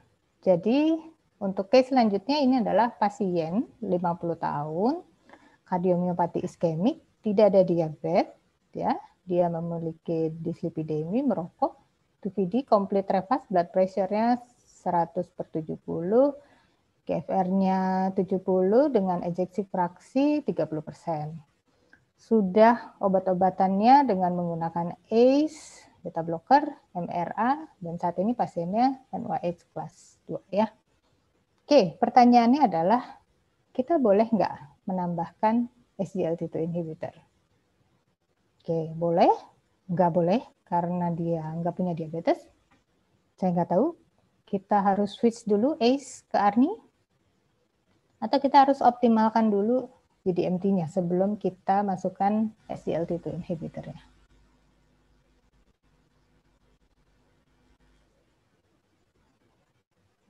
Oke. Sebagian besar ya.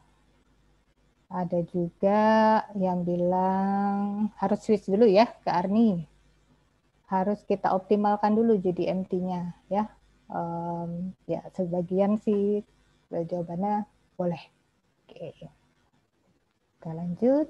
Ya, sekarang kita lihat tadi populasi pasiennya ya. Jadi populasi pasien yang tadi disampaikan adalah pasien dengan iskemik kardiomiopati ya dan kita lihat um, ejeksi fraksinya di bawah 40% dan juga GFR-nya uh, masih di atas 60 ya.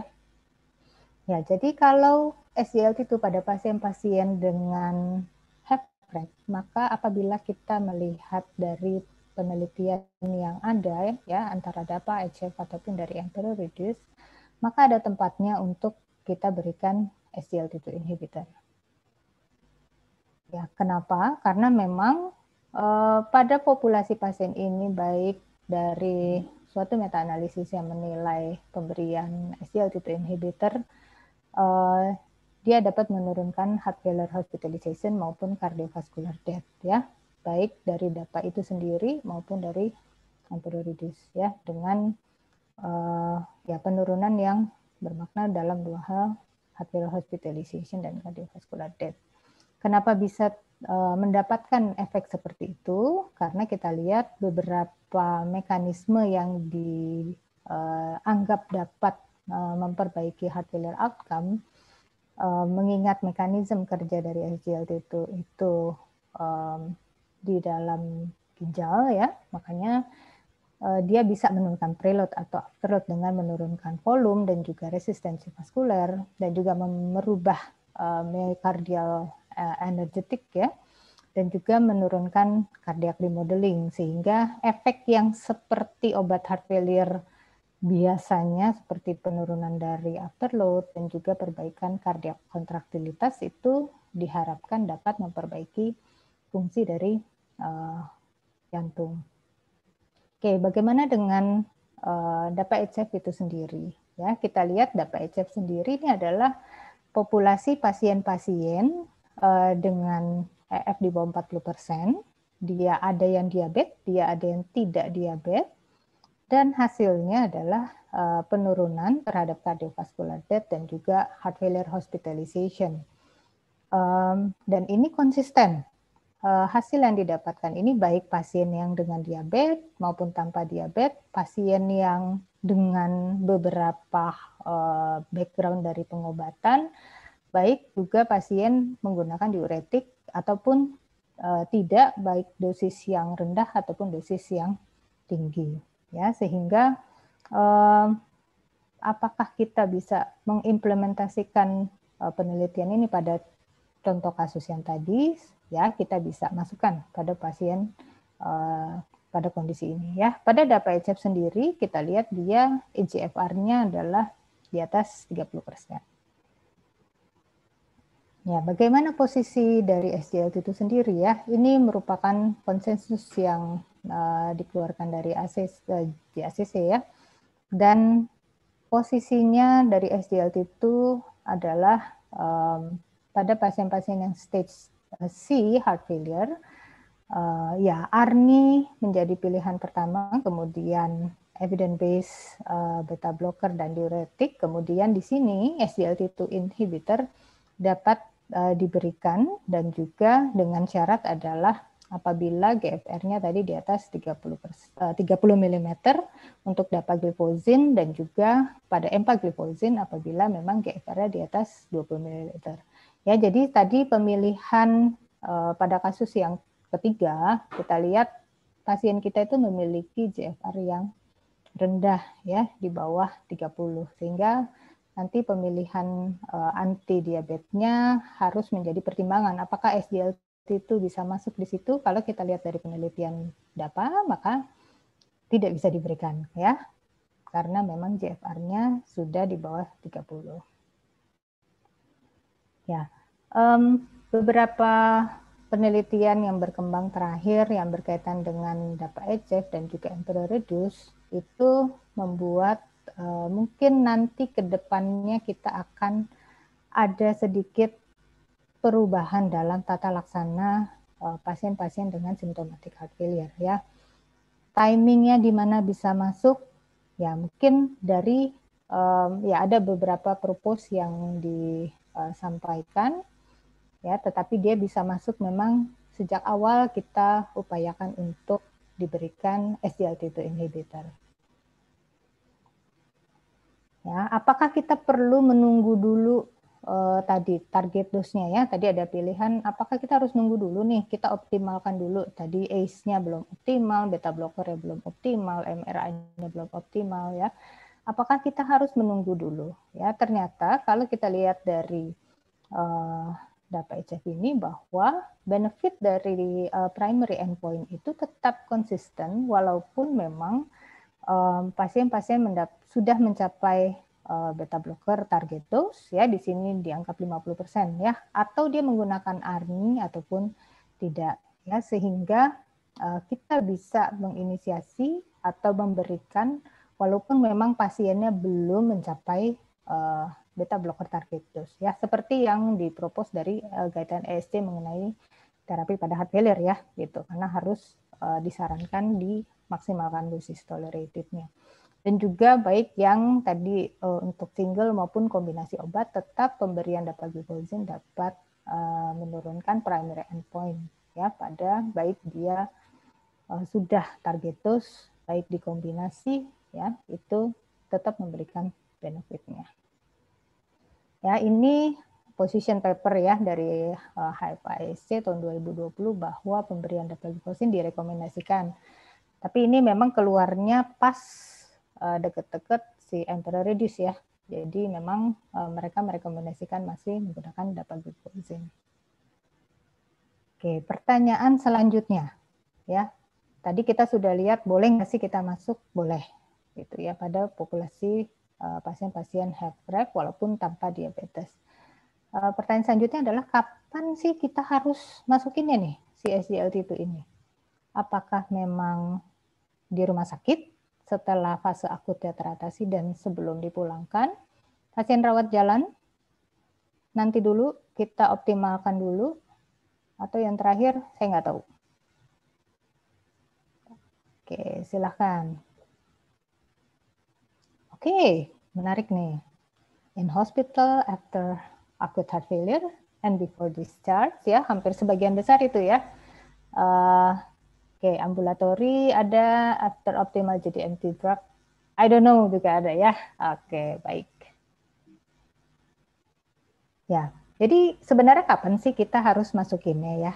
Um, memang kalau penelitian-penelitian pada SGLT itu um, pada yang uh, studi-studi besar itu dilakukan pada pasien-pasien yang uh, ambulatori yang rawat jalan, artinya dia tidak dalam fase akut kecuali ya ada yang um, soloist WFH trial itu ya, tapi itu SGLT itu dengan SGLT1 ya, itu memang diberikannya adalah pre-discharge ataupun early post-discharge ya. Tapi sejauh ini untuk pemberian SGLT2 yang memang memiliki benefit uh, tanpa diabetes ataupun dengan diabetes ya, uh, itu dilakukan secara ambulatori. Ya, jadi diberikan pada pasien yang stabil. Apakah ya the earlier the better ya. Kita tahu penelitian-penelitian sebelumnya pada seperti ARNI gitu ya, kita sudah bisa mulai inisiasi uh, sebelum pulang ataupun pada ACE ataupun beta blocker memang disarankan untuk diinisiasi pada uh, sebelum pulang. Tetapi kalau pada SGLT2 inhibitor sejauh ini memang tetap disarankan untuk diberikan pada pasien-pasien uh, rawat jalan. Ya, dan harus diberikan secepat apa? Apakah kita harus menunggu dulu obat-obatan yang lain untuk optimal dulu ya? Karena kalau kita melihat uh, algoritma yang di yang di ESC itu kan kita optimalkan dulu ACE, kita optimalkan beta blocker, kita optimalkan MRA, nanti baru di switch ke ARNI seperti itu ya. Nah, uh, hal itu bisa menyebabkan delay dari um, ya benefit dari obat-obatan yang memang terbukti dapat menurunkan kardiovaskular mortality. Ya, seperti pada dapagliflozin ini ternyata dia benefitnya sudah didapatkan uh, sejak uh, 28 hari pertama. Ya, jadi memang ya apakah kita perlu menunggu dulu enam bulan sebelum kita memulai ini? Nah itu menjadi uh, pertanyaan untuk uh, selanjutnya nih ya. Jadi apakah memang harus secepat in hospital atau memang harus rawat jalan? Ya memang sejauh ini kita diberikan pada pasien-pasien yang uh, ambulatori oke ya dan Uh, tadi ya sudah saya sampaikan bahwa pemberian obat ob, uh, dapagliflozin ini memang memiliki efek yang sama dari post analisisnya, baik pasiennya sudah dapat ACE, baik pasiennya sudah dapat ARNI, baik ACE-nya sudah mencapai target ataupun belum mencapai target, mereka masih mendapatkan benefit ya tidak berbeda uh, pada pasien-pasien yang mendapatkan dapagliflozin. Oke, pertanyaan selanjutnya. Bagaimana kalau kita mau kasih uh, eh, SGLT itu pada pasien yang bermasalah nih uh, ginjalnya? Ya, boleh atau tidak? Atau boleh asal GFR-nya di atas 90? Boleh asal GFR-nya di atas 20 atau saya tidak tahu.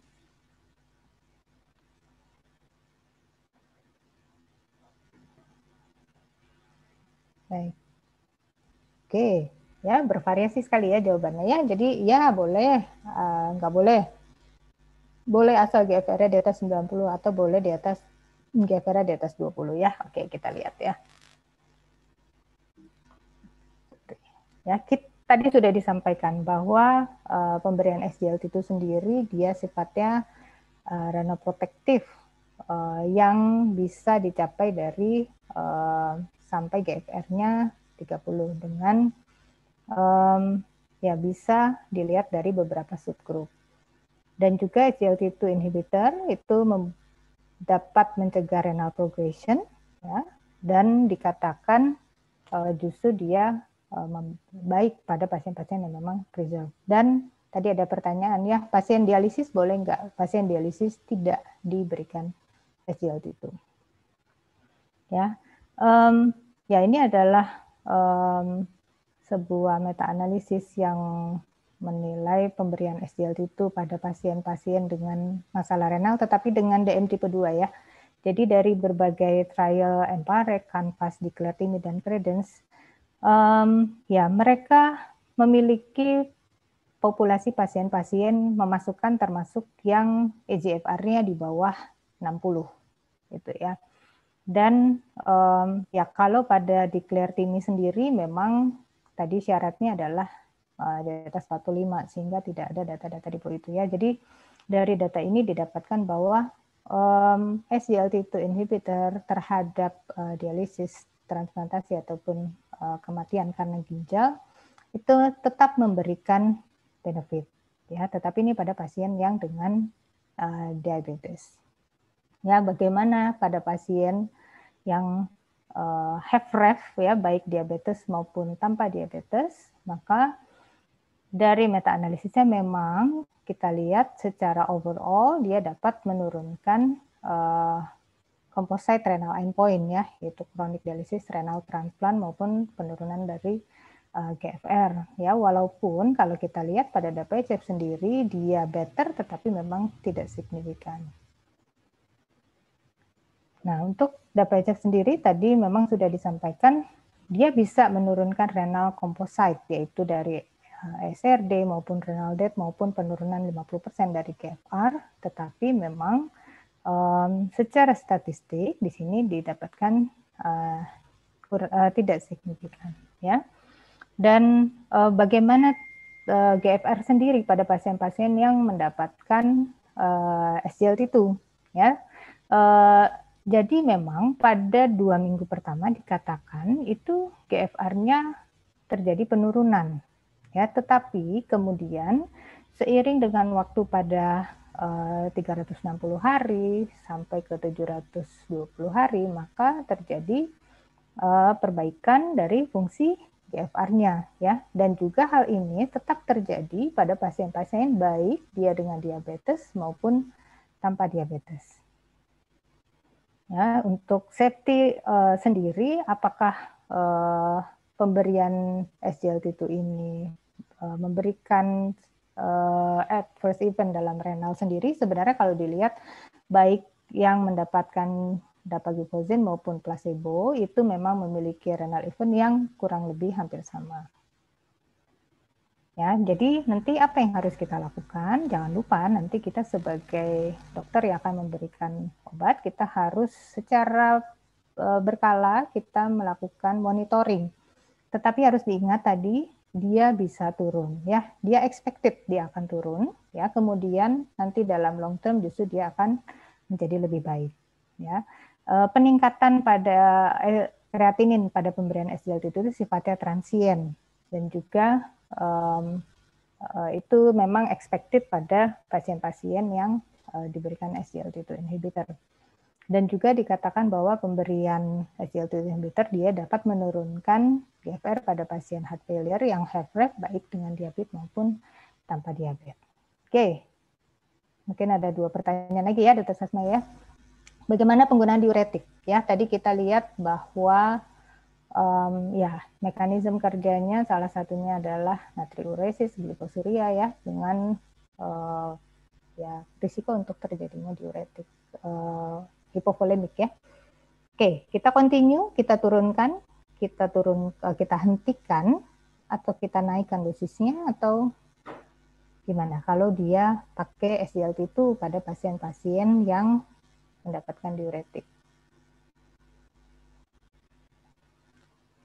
Oke, continue. Sebagian besar turunkan, ya. Bahkan ada yang kita hentikan, ya, tetapi memang um, sebagian besar kita turunkan dari dosis diuretik. Kita lihat ya. Ya, jadi tadi disampaikan bahwa uh, efek dari SGLT2 sendiri itu mempunyai efek baik glisemik maupun ekstraglisemik ya. Di mana pada efek dari ekstraglisemik sendiri itu uh, karena kejadian dari peningkatan natriuresis atau osmotic diuresis ya sehingga terjadinya plasma volume yang menurun atau interstisial dan blood pressure yang turun dengan GFR sehingga bagaimana nih penggunaannya? Karena dia ada dua apa ya dua hal yang kurang lebih bisa terjadi nih bisa terjadi volume yang turun atau justru dia malah bisa membantu efek diuretik pada pasien-pasien yang memang uh, sudah mengalami sudah biasa dengan penggunaan diuretik. Ya, jadi um, ternyata dari uh, penelitian ini dari DAPA sendiri kita lihat pasien-pasien yang menggunakan diuretik itu sampai uh, pada enam bulan sampai 12 bulan itu sebagian besar um, tidak merubah dosis diuretiknya sepanjang follow up. Mungkin ada yang menurunkan dosis diuretiknya uh, dan juga tapi perbedaannya itu tidak terlalu besar ya. Uh, dan tetap walaupun pasien ini nanti menggunakan diuretik ya sebenarnya nanti um, ada beberapa dosis yang digunakan pada populasi pasien ini tetap benefit dari penggunaan uh, SGLT itu sendiri itu tetap didapatkan. Ya. Nah ini um, sub analisisnya dari data yang berkaitan dengan penggunaan furosemid ya. Kita lihat ada pasien-pasien yang memang tidak mendapatkan diuretik dan ada pasien-pasien yang mendapatkan dosis diuretik lebih dari 40 mg. Ya, biasanya kalau kita lihat dari eh, pasien-pasien uh, yang tidak mendapatkan diuretik itu um, kejadian dari discontinuation dari uh, obat, kemudian penurunan dari cairannya dan juga renal adverse event-nya memang lebih rendah dibandingkan dengan mereka yang penggunaannya lebih dari 40 mm, 40 mg ya. Kemudian um, ya volume depletion tetapi pada pasien-pasien yang tanpa diuretik uh, pada pasien yang mendapatkan DAPA dibandingkan dengan placebo justru volume depletion itu terjadi lebih uh, sedikit dibandingkan uh, pada pasien yang menggunakan DAPA dibandingkan dengan uh, placebo. Oke. Ya, ini um, ya dari dari data tadi mereka membandingkan tuh pasien-pasien yang mendapatkan diuretik, yang diuretik ya dikasih tapi kurang dari 40 mili atau 4 mili atau lebih dari 40 mili dinilai dari berbagai faktor ya. Dilihat di sini ada efek terhadap hematokrit, terhadap systolic blood pressure, terhadap berat badan, kemudian kreatinin dan juga NT-proBNP. Jadi apabila kita lihat dari hematokrit sendiri, jadi pasien-pasien yang tidak diberikan diuretik ya itu uh, hampir sama terhadap uh, peningkatan dari hematokritnya dibandingkan dengan pasien-pasien yang memang mendapatkan diuretik ya dan itu tetap terjadi sampai akhir penelitian sehingga nanti uh, mungkin uh, ada mekanisme yang diduga peningkatan hematokrit yang terjadi tidak hanya dianggap akibat dari terjadinya hemokonsentrasi gitu ya karena uh, efek diuresis yang berlebihan, tetapi ada mekanisme lain yang uh, menjelaskan kenapa hematokrit itu bisa meningkat. Ya, jadi uh, antara yang mendapat tidak mendapatkan diuretik baik pada pasien-pasien uh, yang mendapatkan DAPA ataupun dengan placebo ternyata tidak berbeda dalam hal uh, penurunan tekanan darah, penurunan berat badan maupun dalam fungsi kreatinin. Oke ya. Um, Ya, kita tahu tadi salah satu efeknya adalah terjadi vasodilatasi ya. Jadi sehingga kadang-kadang menjadi pertanyaan, kita harus nurunin obat-obat yang bisa menurunkan tekanan darah enggak pada pasien-pasien yang mendapatkan SGLT2 inhibitor? Oke, silahkan. Oke ya, tidak perlu. Ya, kalau pasiennya mempunyai gejala hipoperfusi, Ya, kita harus stopnya yang SGLT2 inhibitor dulu. Oke, silahkan.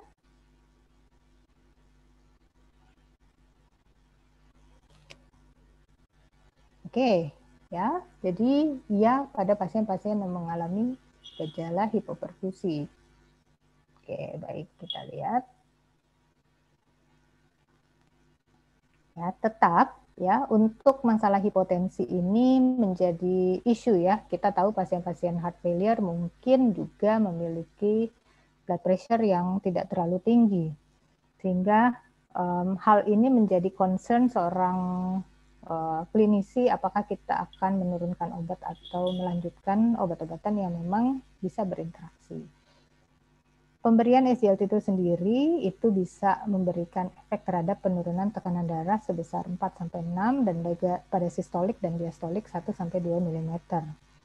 Um, ya, concern pada pemberian kombinasi antara obat-obatan SGLT itu dengan obat uh, contoh heart failure lain yang memang bisa berpotensi untuk menurunkan tekanan darah, kita harus memberikan um, pemeriksaan yang jelas ya berkaitan dengan assessment dari volume status pada saat kita akan menginisiasi, kemudian pada saat um, kita memberikan SGLT itu ataupun pada saat uh, pemberian obat.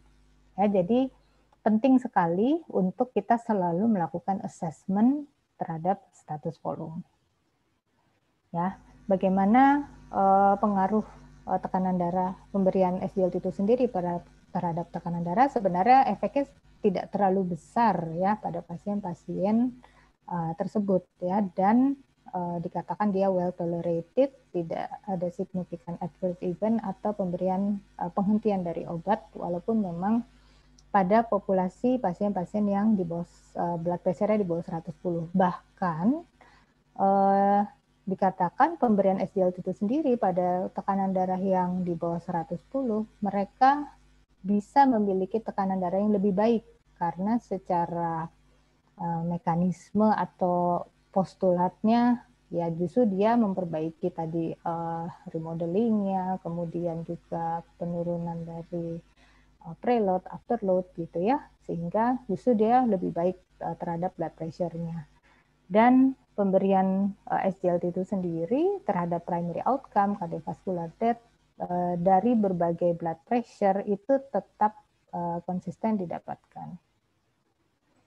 Oke ya, ini jadi mungkin sebagai uh, praktisnya, kapan sih bagaimana kita um, memilih atau memulai pemberian SGLT itu ya pada pasien dengan HFrEF ya. Pertama tadi kita tentukan dulu pasiennya, benar nggak pasiennya memang dengan uh, heart failure dengan ejeksi fraksi yang rendah. Jadi kita harus melakukan echo ya, kita bisa melakukan pemeriksaan NT-proBNP ya sebagai um, untuk uh, inisiasi terhadap benefit dari pemberian obat ini. Kemudian kita tentukan dosisnya ya. Pada pemberian dapagliflozin itu 10 mg, pada empagliflozin juga 10 mg dan diberikan satu kali sehari. Dapat diberikan pada pagi hari dan tidak perlu dose adjustment selama uh, eh, GFR-nya di atas 30. Dan hal-hal yang harus dipertimbangkan pada saat kita akan memberikan. Selalu melakukan penilaian hemodinamik dan juga status klinis ya. Uh, status volume kita nilai kalau memang dia ada hipovolemik maka kita atasi. Kemudian evaluasi bagaimana uh, status volume terutama pada pasien-pasien dengan uh, fungsi ginjal yang sudah terganggu ataupun pasien yang memang mendapatkan diuretik jadi status volume itu sangat penting sekali sebelum kita menginisiasi. Ya, eh, fungsi renal kita akan nilai sebelum pemberian dan juga sesudahnya secara periodik. Tetapi harus diingat um, tadi secara mekanisme memang pemberian SGLT itu dapat uh, menurunkan GFR di awal ya, tetapi kemudian nanti dia akan mengalami perbaikan. Apabila pasiennya memiliki diabetes tipe 2, maka kita harus mengevaluasi apakah ada risk untuk ke arah uh, ketoacidosis dan apabila dia akan menjalani major surgery, maka kita sebaiknya harus menghentikan SGLT itu tiga hari sebelum untuk mencegah terjadinya DKA. Ya, dan juga pada saat kita sudah melakukan uh, pemberian obat, maka kita harus uh, melakukan konseling terhadap pasien ya, yaitu tanda-tanda seperti hipovolemi, kemudian adanya ortostatik hipotensi, kita harus menilai ada tanda dari ketoacidosis dan juga uh, hygiene dari genital maupun perineal. Ya, uh, obat-obat yang diminum itu kita harus lakukan adjustment ya. Mengapa? Karena tadi diuretik dia bisa meningkatkan risiko terjadinya volume depletion, sehingga kita harus selalu melakukan evaluasi. Kemudian eh, hati-hati apabila dia dikombinasikan dengan uh, obat-obat seperti insulin dan sulfonylurea yang dapat menyebabkan hipoglisemi sehingga obat-obatan tersebut dapat di adjust ya dan juga untuk long termnya kita harus uh, lakukan tata laksana secara uh, multidisiplin. Oke, mungkin sebagai take home message dari uh, saya bahwa SGLT2 memiliki risiko terhadap penurunan primary endpoint baik cardiovascular death maupun hospitalization dari heart failure, safe ya, low incident dari serious side effect dan juga oh, efek terhadap blood pressure itu juga ya tetapi tidak terlalu besar atau minimal effect dan dia dapat memberikan benefit baik kardiak maupun renal pada pasien dengan HFrEF dan benefit ini konsisten dari berbagai subgrup baik pasien dengan diabetes ataupun tidak, pasien dengan ARNI ataupun tidak dan juga simptom. Baik, mungkin itu Dokter Sasmaya yang bisa Terima kasih Dokter Ade atas um, sharing case yang sangat menarik dari beberapa kasus kita belajar banyak sekali ya tadi ya. Uh, banyak kasus dan belajar banyak tentang uh, clinical practice uh, penggunaan SGLT2 inhibitor pada pasien-pasien kita dalam praktek klinis sehari-hari. Oke, saat ini sebenarnya sudah banyak sekali pertanyaan menarik dari para peserta. Mungkin saya mulai uh, dari pertanyaan yang pertama. Ini untuk uh, sebentar dok. Ini untuk Dokter Erwin. Izin dari Dokter Fauziar Ahnaf. Terima kasih Dokter Fauziar, pertanyaannya menarik sekali. Untuk yang hemodialisis tadi sudah dijawab oleh Dokter Triwedia ya. Uh, mungkin pertanyaan yang kedua. Untuk Dokter Erwin, bagaimana pemberian dapagliflozin pada pasien heart failure tipe lain seperti peripartum kardiopati? Terima kasih. Nah, silakan dok. Oke, okay. Uh, eh, yang HD udah dijawab ya tadi ya? Ya udah dijawab sama ya, Oke, okay. sebetulnya HD itu uh, kita karena di-exclude pada pasien-pasien tersebut. Jadi kita tidak tahu efeknya sehingga eh, tidak tidak dianjurkan untuk mhm. diberikan. Eh, tentang peripartum, peripart yang kalau untuk efektivitasnya itu sama. Pokoknya dia heart failure, uh, reduce ejection fraction.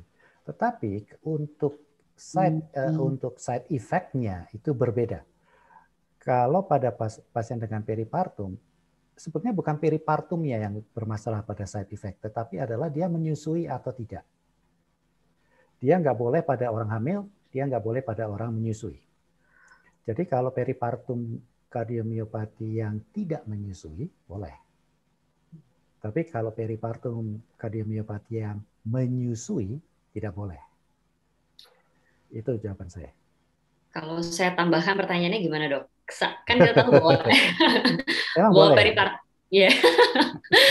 kan peripartum kardiopati ini kan kemungkinan dia reverse remodelingnya kan besar sekali nih dok ya kan jadi kapan nih kita harus mempertimbangkan SGLT2 inhibitor mengingat kalau peripartum kardiopati ini already on ACE ya obat-obatan yang yang foundational treatment yang kita punya lah sampai saat ini ya ACE or ARNI, beta blocker, MRA dia udah oke okay nih misalnya gitu. Jadi kapan nih kita kira-kira kita pertimbangkan pemberian SGLT2 inhibitor in terms of peripartum cardiopathy yang mempunyai potensi reverse remodeling yang besar? Uh, dia indikasinya adalah heart failure dengan reduced ejection fraction. Kalau suatu ketika dia ejection fractionnya naik, maka dia sudah tidak diindikasikan lagi karena kita tidak punya bukti pada pasien dengan ejeksi eh, ejection fraction di atas 40 persen. Oke. Okay. Ya. Itu Jadi, pendapat saya. Ya, ada defin ada kategori baru ya dok ya, heart failure recovery. Ya itu memang dari uh, low ejection fractions kemudian dia recover ya. Tapi memang tidak ada datanya. Oke, terima kasih Dokter Erwin. Uh, kemudian ada pertanyaan lagi ini. Uh, ini menarik dari Dokter Evan Kurniawan. Terima kasih atas pertanyaannya. Pertanyaannya menanyakan mengenai posisi pemberian SGLT2 inhibitor pada HFpEF.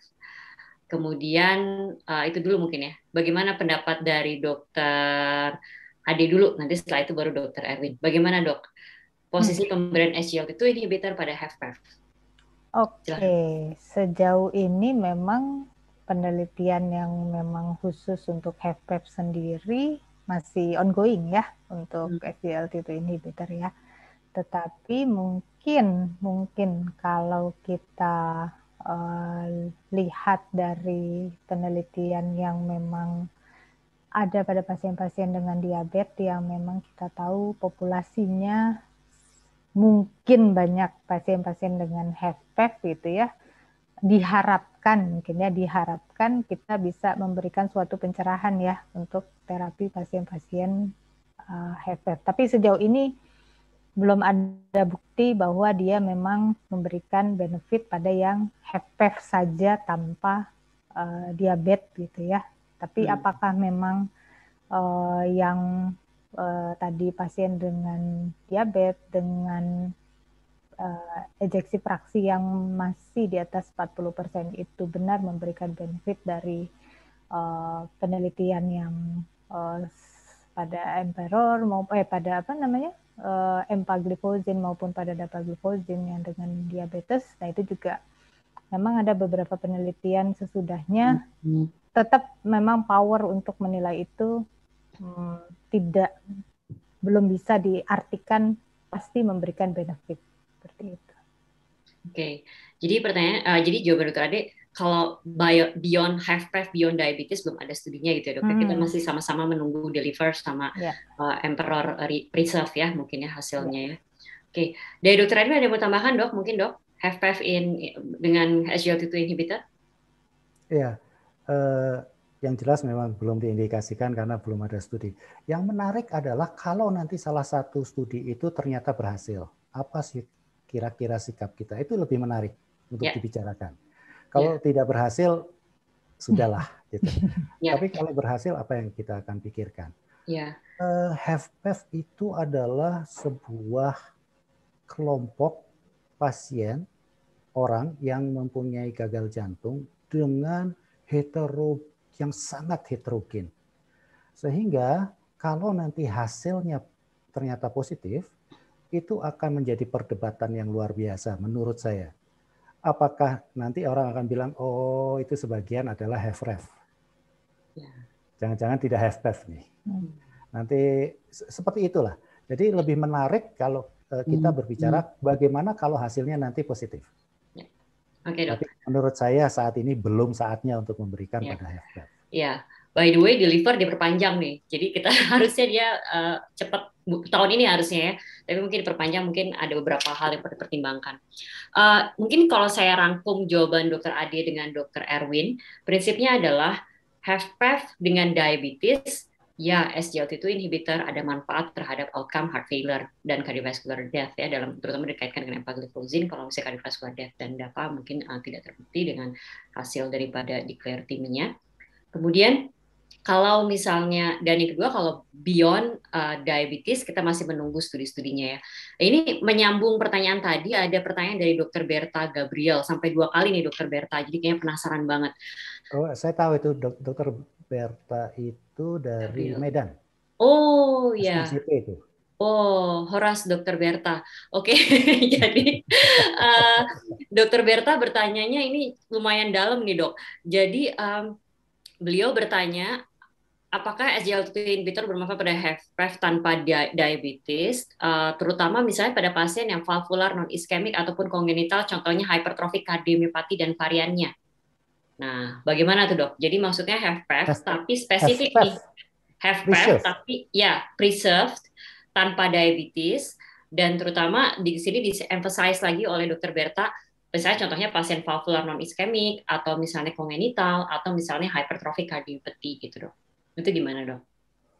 Uh, tetap bahwa HFpEF itu kita jawabannya sama, nggak ada bukti, belum punya bukti HFpEF ya, bukan preserve ya? Iya dok, preserve. Ya, ya preserve. Oke. Okay. Ya. Soalnya kadang-kadang P sama R sekali. Oke, okay. untuk untuk preserve belum ada studinya. Jadi tidak diindikasikan. Apa pun eh, apa namanya eh, penyebab dari pre-soft ejection uh, heart failure pre-soft ejection fractionnya. Oke, okay. ya mungkin dokter Ade ada tambahan dokter Ade? Enggak. Enggak ya, idem ya, setuju ya. Hmm. Oke. Okay. Eh, kemudian pertanyaan yang kedua, ada lagi pertanyaan ini tadi karena menyambung dari dokter Evan ya. Jadi tentang HFrEF sudah selesai semua. Jadi tadi juga pertanyaan terkait dengan HFrEF dengan pH dan kemudian sirosis sama saja jawabannya pada dasarnya HFrEF dengan bukan diabetes kita belum ada studinya. Uh, pertanyaan yang kedua adalah kapan sebaiknya memulai pemberian SGLT2 inhibitor? Uh, Oke, okay. jadi kapan memulai pemberian SGLT2 inhibitor dok? Um, ini mungkin pada diabetes ataupun non diabetes ya karena mereka dia bertanya ini uh, dokter Evan ini bertanya mengingat solois sudah masuk nih pada predischarge gitu sedangkan emperor dan dapa masih pada uh, eh, pasti pada pasien ambulatory chronic heart failure nah itu gimana dok jadi kapan sebaiknya kita memulai SGLT2 inhibitor uh, okay. Dokter er, Erwin dokter Ade dulu ya dok ya oke okay. dokter Ade silahkan oke okay. kalau lihat dari penelitian yang memang ada um, memang tetap ambulatori, artinya pada um, rawat jalan untuk karena sejauh ini penelitian yang ada yang memang uh, memberikan benefit dalam hal uh, cardiovascular death dan juga heart failure hospitalization itu pasien-pasien ambulatori dulu ya. Um, ini pada uh, heart failure ya, dokter Sasma ya? Ya, betul pada pasien heart failure ya. Pada pasien HFrEF, mm-hmm. uh, mengingat solois nih dimasukkan okay. pada pre-discharge, yeah. sedangkan emperor dan dapa dimasukkan pada saat ambulatory chronic heart failure. Mm. Jadi mungkin dokter Evan nih bingung, masuknya di mana nih, kapan dijadinya, mm. yeah. gitu, pre-discharge atau misalnya ambulatory. Oke, okay. sejauh ini sih memang ambulatory, gitu ya. Kita nggak tahu nanti apakah akan ada penelitian yang um, kan ya semua berkembangnya dari situ ya, ambulatory dulu, kemudian nanti mulailah dari uh, seperti Arni lah gitu. Arni kan memang dia paradigm sendiri kan ambulatori, tapi ternyata Pioneer sendiri bisa memberikan benefit lebih apabila kita earlier better gitu ya. Memang dari uh, dapat sendiri tadi benefitnya memang sudah bisa didapatkan sejak awal gitu ya dalam 28 hari. Sehingga memang kita mungkin bisa menginisiasi lebih cepat tanpa harus menunggu tadi sekuensial dari terapi gitu kan uh, kalau yang di uh, di apa disarankan dari ESC sendiri kan masih step by step gitu ya dokter Sasma ya. ya masih nunggu ini dulu nunggu ini dulu gitu ya sampai kekhawatiran terjadinya delay atau kenapa kita nggak lebih cepat gitu ya tetapi memang lebih cepatnya uh, belum direkomendasikan uh, pre-discharge atau early post discharge seperti pada soloist WHF itu. Oke, terima kasih Dokter Adi. Bagaimana Dokter Erwin? Mungkin untuk Dokter Erwin ada tambahan pertanyaan nih mungkin ya. Uh, apa sih sebenarnya dok yang yang menjadi pertimbangan kenapa sih kok kita harus menunggu studi dulu uh, sampai harus uh, untuk memulai pada pre-discharge in hospital pre-discharge uh, atau in hospital atau pre-discharge uh, initiations. Monggo dok. Ya, uh, ini saya saya saya lihat dari solois ya. Solois hmm. itu diberikan pre-discharge dan kemudian immediately post-discharge. Ya, uh, yang jadi kita harus lihat yang disebut sebagai pre-discharge. Karena pre-discharge itu mulai bisa dari hari pertama sampai hari ke, satu hari sebelum keluar rumah sakit. Jadi yang di, yang disebut uh, pre-discharge itu adalah sebelum sebelum keluar dia jadi mungkin sehari sebelum keluar. Apa bedanya dengan post discharge yang cuma sehari sesudah keluar gitu. Itu apa bedanya? Itu uh, terlalu dekat untuk diperdebatkan. Sehingga saya tidak menggunakan itu, uh, tapi menggunakan uh, pendekatan praktis. Kalau kita memberikan dia pre-discharge dan itu jauh dari discharge, kan pre-discharge itu waktunya cukup panjang. Kalau dia jauh dari discharge, maka kita nggak fokus. Nanti kita sebetulnya pasien itu kan pasien dengan acute heart failure sebetulnya, betul ya? Hmm. Kalau dia acute heart failure, kita nggak fokus, kita bicara tentang mortality jangka panjang, padahal sebetulnya hari itu, saat-saat itu dia harusnya bicara tentang mortality jangka pendek yang dihubungkan dengan diuretik, yang dihubungkan dengan uh, komorbiditas dan sebagainya, itu nggak nggak fokus itu satu.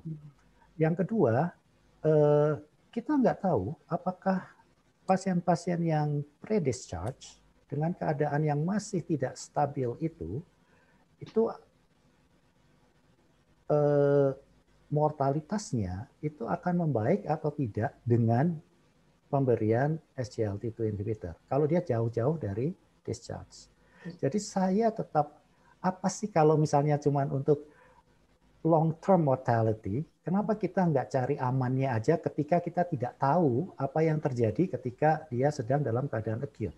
Okay. Itu itu pendapat saya dari segi praktisnya. Oke. Okay. Saya sih lebih senang kalau saya saya akan pasien saya saya akan berikan post discharge. Oke okay, dok. Ya. Uh, mungkin kalau saya rangkum dari jawaban Dr. Adi dan Dr. Erwin, prinsipnya adalah memang berdasarkan studi ataupun berdasarkan expert opinion lah ya dok ya mungkin ya, memang um, memasukkan uh, SGLT2 inhibitor itu masih pada uh, after discharge. Nah, karena kita tahu juga dari beberapa sequencing, sekarang sudah banyak sekali sequencing untuk heart failure medications, semuanya juga memasukkan SGLT2 inhibitor within one month. Jadi one month after discharge. Dan itu mungkin yang di, di, diberi yang, di, yang dijawab oleh Dr. Erwin dan juga Dr. Adi karena memang pertimbangannya tadi seperti yang disebutkan Dr. Erwin pada saat in hospital kita harus lebih fokus terhadap uh, short term outcome dibandingkan dengan long term outcome gitu ya mungkin seperti itu. Kemudian uh, mungkin tambahannya kalau pasiennya new onset acute heart failure memang kita baiknya betul-betul discharge. Tapi kalau misalnya pasiennya akut decompensated heart failure nih dok, sudah on SGLT2 inhibitor, boleh dilanjut atau kita stop, Dr. Erwin? Uh, kalau kita bicara tentang studi, saya nggak tahu. Hmm. Karena studi solois adalah orang yang pertama dapat SGLT2 inhibitor, bukan orang yang sudah pernah SGLT2 inhibitor. Ya. Sehingga kalau apa pun jawaban saya itu adalah eh, jawaban pribadi. Hmm. Oke, okay. uh, eh, kalau pasiennya sudah on SGLT2 inhibitor, hmm. maka dengan sendirinya saya tetap beranggapan dia lanjut selama tidak ada masalahnya masalah misalnya hypoglycemia, ya tidak ada masalah dengan gula darah yang rendah. Kalau dia yang jadi masalah adalah eh, yang harus di, di, dilihat adalah eh, masukan dari karbohidrat pada saat dia acute heart failure. Hmm. Apakah dia acute eh, apa namanya acute decompensated atau de novo saya nggak peduli tapi masukan dari karbohidrat kenapa karena kalau masukan karbohidratnya rendah maka kemu, eh, risiko untuk terjadinya euglycemic uh, diabetic ketoacidosis itu akan menjadi meningkat. Ya. Jadi begitu pasiennya itu yang harus dilihat menurut saya. Ya. Kalau pasiennya uh, ternyata uh, masukan dari karbohidratnya itu rendah, maka menurut saya apa sih kenapa nggak kita berhentiin aja daripada kita ambil risiko? Oke. Okay. Jadi in certain case uh, dokter akan stop ya dok ya gitu ya. Yeah. In certain case and certain conditions. Oke. Okay. Dokter Adi ada tambahan mungkin? Uh, ya mungkin sama ya karena memang belum ada penelitiannya apakah memang kita ada benefitnya continue gitu ya pada pasien yang sudah on SGLT itu ya ya saya belum tahu gitu ya dengan pasti apakah we should continue atau tidak tapi memang pertimbangan perubahan hemodinamik, pertimbangan perubahan status cairan, mungkin itu menjadi salah satu apa ada infeksi atau apa ya, karena kekhawatiran tadi terjadinya yang euglycemic ketoacidosis itu ya salah satu risk yang dapat terjadi. Jadi mungkin itu sih lebih urusan safety ya. Sesmaya nah, ya, okay. kayaknya ya. Ya, jadi mungkin memang kita selama ini kan selalu menggadang-gadang bahwa kalau kita pasien-pasien on heart, heart failure yang on heart failure treatment, hmm. so, sebisa mungkin ketika dia masukin hospital jangan di stop, tapi ingat safety concernnya gitu ya. Mungkin itu yang harus di noted ya. Oke, okay. uh, eh, ini ada pertanyaan lagi dari Dokter Asep uh, Zen Zen Zaini Dahlan. Dokter Asep apa kabar?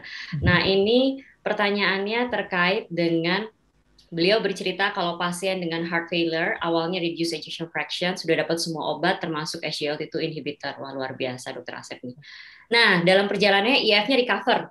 IF-nya recover sampai di atas 40%. Nah pertanyaan beliau adalah apakah perlu saya hentikan SGLT2 inhibitornya? Uh, dan kalau saya hentikan apa yang akan terjadi? Mohon pendapatnya. Terima kasih. Okay. Ya, um, mau siapa dulu boleh? Erwin dulu lah, kayak itu udah dijawab sih yang ya sebenarnya. Yang tuwir dulu. Yang tuwir dulu benar. Wah, kurang ajar nih juniornya. Silakan dok. ya, jadi kalau uh, untuk ini sama pertanyaannya seperti tadi dengan ya. uh, dengan peripartum ya. peripartum kardiomiopati. Ya. Jadi kalau dia sudah naik harusnya untuk tujuan menurunkan morbiditas dan mortalitas kardiovaskuler, maka dia tidak punya tempat lagi. Hmm. Tapi kalau ternyata pasiennya punya diabetes, ya itu urusan lain. Hmm. Itu urusan lain. Itu adalah untuk urusan pengontrolan gula darah. Itu. Nah sekarang apa efeknya kalau kita terusin? Kalau ternyata pasiennya itu, kalau untuk tujuan dengan eh, apa namanya eh, menurunkan morbiditas mortalitas kan sudah nggak punya sudah nggak punya tempat ya. Sementara bukan untuk tujuan pengontrolan gula darah. Ya. Maka apa yang di, kalau diterusin? Ya kita memberikan risk lebih besar daripada benefit. Ya. Tapi kalau misalnya pasiennya awalnya reduce nih dok, kemudian dia sudah on treatment, termasuk hmm. salah satu SGLT2 inhibitor, ARNI dan lain sebagainya gitu ya, beta blocker dan lain sebagainya um, should we continue all the medication? Although ejection fraction udah udah recover, walaupun saya tahu threat mungkin threat HF ya dok ya, threat HF kan tidak masuk SGLT2 inhibitor di situ. Tapi berarti harus walaupun dia sudah walaupun dia dari ejection fraction rendah kemudian dia ke recover, baiknya di stop SGLT2 inhibitor dok atau kita keep itu pertanyaannya sama seperti apakah beta blocker juga harus saya berhentikan, ya, ya. apakah yeah. arninya sudah harus saya berhentikan kalau dia recover. Hmm. Saya tidak bisa menjawab hal itu karena saya tidak juga tidak bisa menjawab uh, pertanyaan kalau saya hentikan apakah nanti recovernya akan kembali menjadi ejection fraction-nya turun. Yeah. Itu saya nggak punya jawabannya. Dan uh, selama kita tidak punya jawaban, maka kita harus pegang prinsip primum non nocere jangan rugikan pasien. Okay. Selama kita memberikan, kita nggak punya jawaban, dan kita tahu bahwa uh, kita berpikir bahwa mungkin dia akan IF-nya akan turun lagi kalau saya hentikan, maka kita harus diskusi sama pasiennya. Ya. Dan begitu ada side effect, maka kita harus hentikan. Ya. Karena jawabannya kita tidak ada, prinsipnya adalah primum non nocere. Oke, terima kasih Dokter Erwin. Ada tambahan Dokter Ade? Enggak. Oke. okay. Karena ini nggak bisa dijawab, ya memang yeah, benar yeah. kita belum tahu gitu. Ya, ya. Ini pertanyaan-pertanyaan seperti ini malah yang menarik ya, gitu kan. Hmm. Oke, okay. uh, eh, tinggal tujuh menit lagi waktunya. Ini mungkin saya akan ada satu pertanyaan dari Dokter Kristiani Mulyono. Selamat malam, Dokter Kristiani Mulyono oh. yang jauh di sana. um, izin bertanya, Dokter jika selama pemberian SGLT2 inhibitor pasien mengalami UTI, apakah harus dihentikan atau boleh dilanjutkan? Terima kasih. Monggo, mungkin dari dokter Ade dulu deh, baru setelah hmm. itu dokter Erwin. Ya, baik. Jadi memang risk untuk UTI itu uh, lebih tinggi, uh, lebih tinggi ya pada pasien-pasien mendapatkan SGLT2. Uh, siapa yang berisiko untuk uh, lebih tinggi untuk terdapat itu biasanya memang dia kalau ada underlying-nya gitu ya sehingga tadi kepentingan dalam perineal hygiene itu menjadi sangat penting atau kita memang kalau dari awal udah pasiennya memiliki risk untuk terjadinya UTI sebelumnya mungkin harus dikonsider ya untuk pemberian SGLT itu antara risk and benefitnya. Jadi um, apakah harus dihentikan? Kalau menurut saya tidak perlu dihentikan dulu sambil kita obatin untuk UTI-nya sendiri sambil nanti dievaluasi seperti itu. Kalau pendapat saya dok ya. Ya, Dokter Ainun ada tambahan dok? Hmm, enggak, cuman saya ingin sampaikan bahwa selama UTI-nya itu berhubungan dengan genital infection, hmm, yang okay. yang meningkat adalah genital, genital infections, ya. infection, ya, ya. ya. bukan okay, UTI. Bukan UTI, ya, tepat sekali. Kemudian uh, saya mungkin pertanyaan selanjutnya adalah dari saya sendiri. Hematokrit ini kadang-kadang uh, kurang ter, ter terfokus tentang hematokrit. Tadi dokter Ade sempat menyebutkan di slide-nya ada ada ada kemungkinan hemokonsentrasi ya dok ya. Hmm. Dan mostly tidak related to diuretik bukan uh, seperti itu kalau yang saya tangkap ya. Nah ada hal lain uh, penyebabnya ya. Tapi pertanyaan saya adalah untuk praktikal klinis nih misalnya ya untuk uh, praktek kita sehari-hari. Jadi ada pertimbangan nggak uh, untuk kita menghentikan jika terjadi peningkatan hematokrit dan peningkatan yang berapa dan berapa lama kira-kira dokter Ade? Ada pertimbangan nggak itu?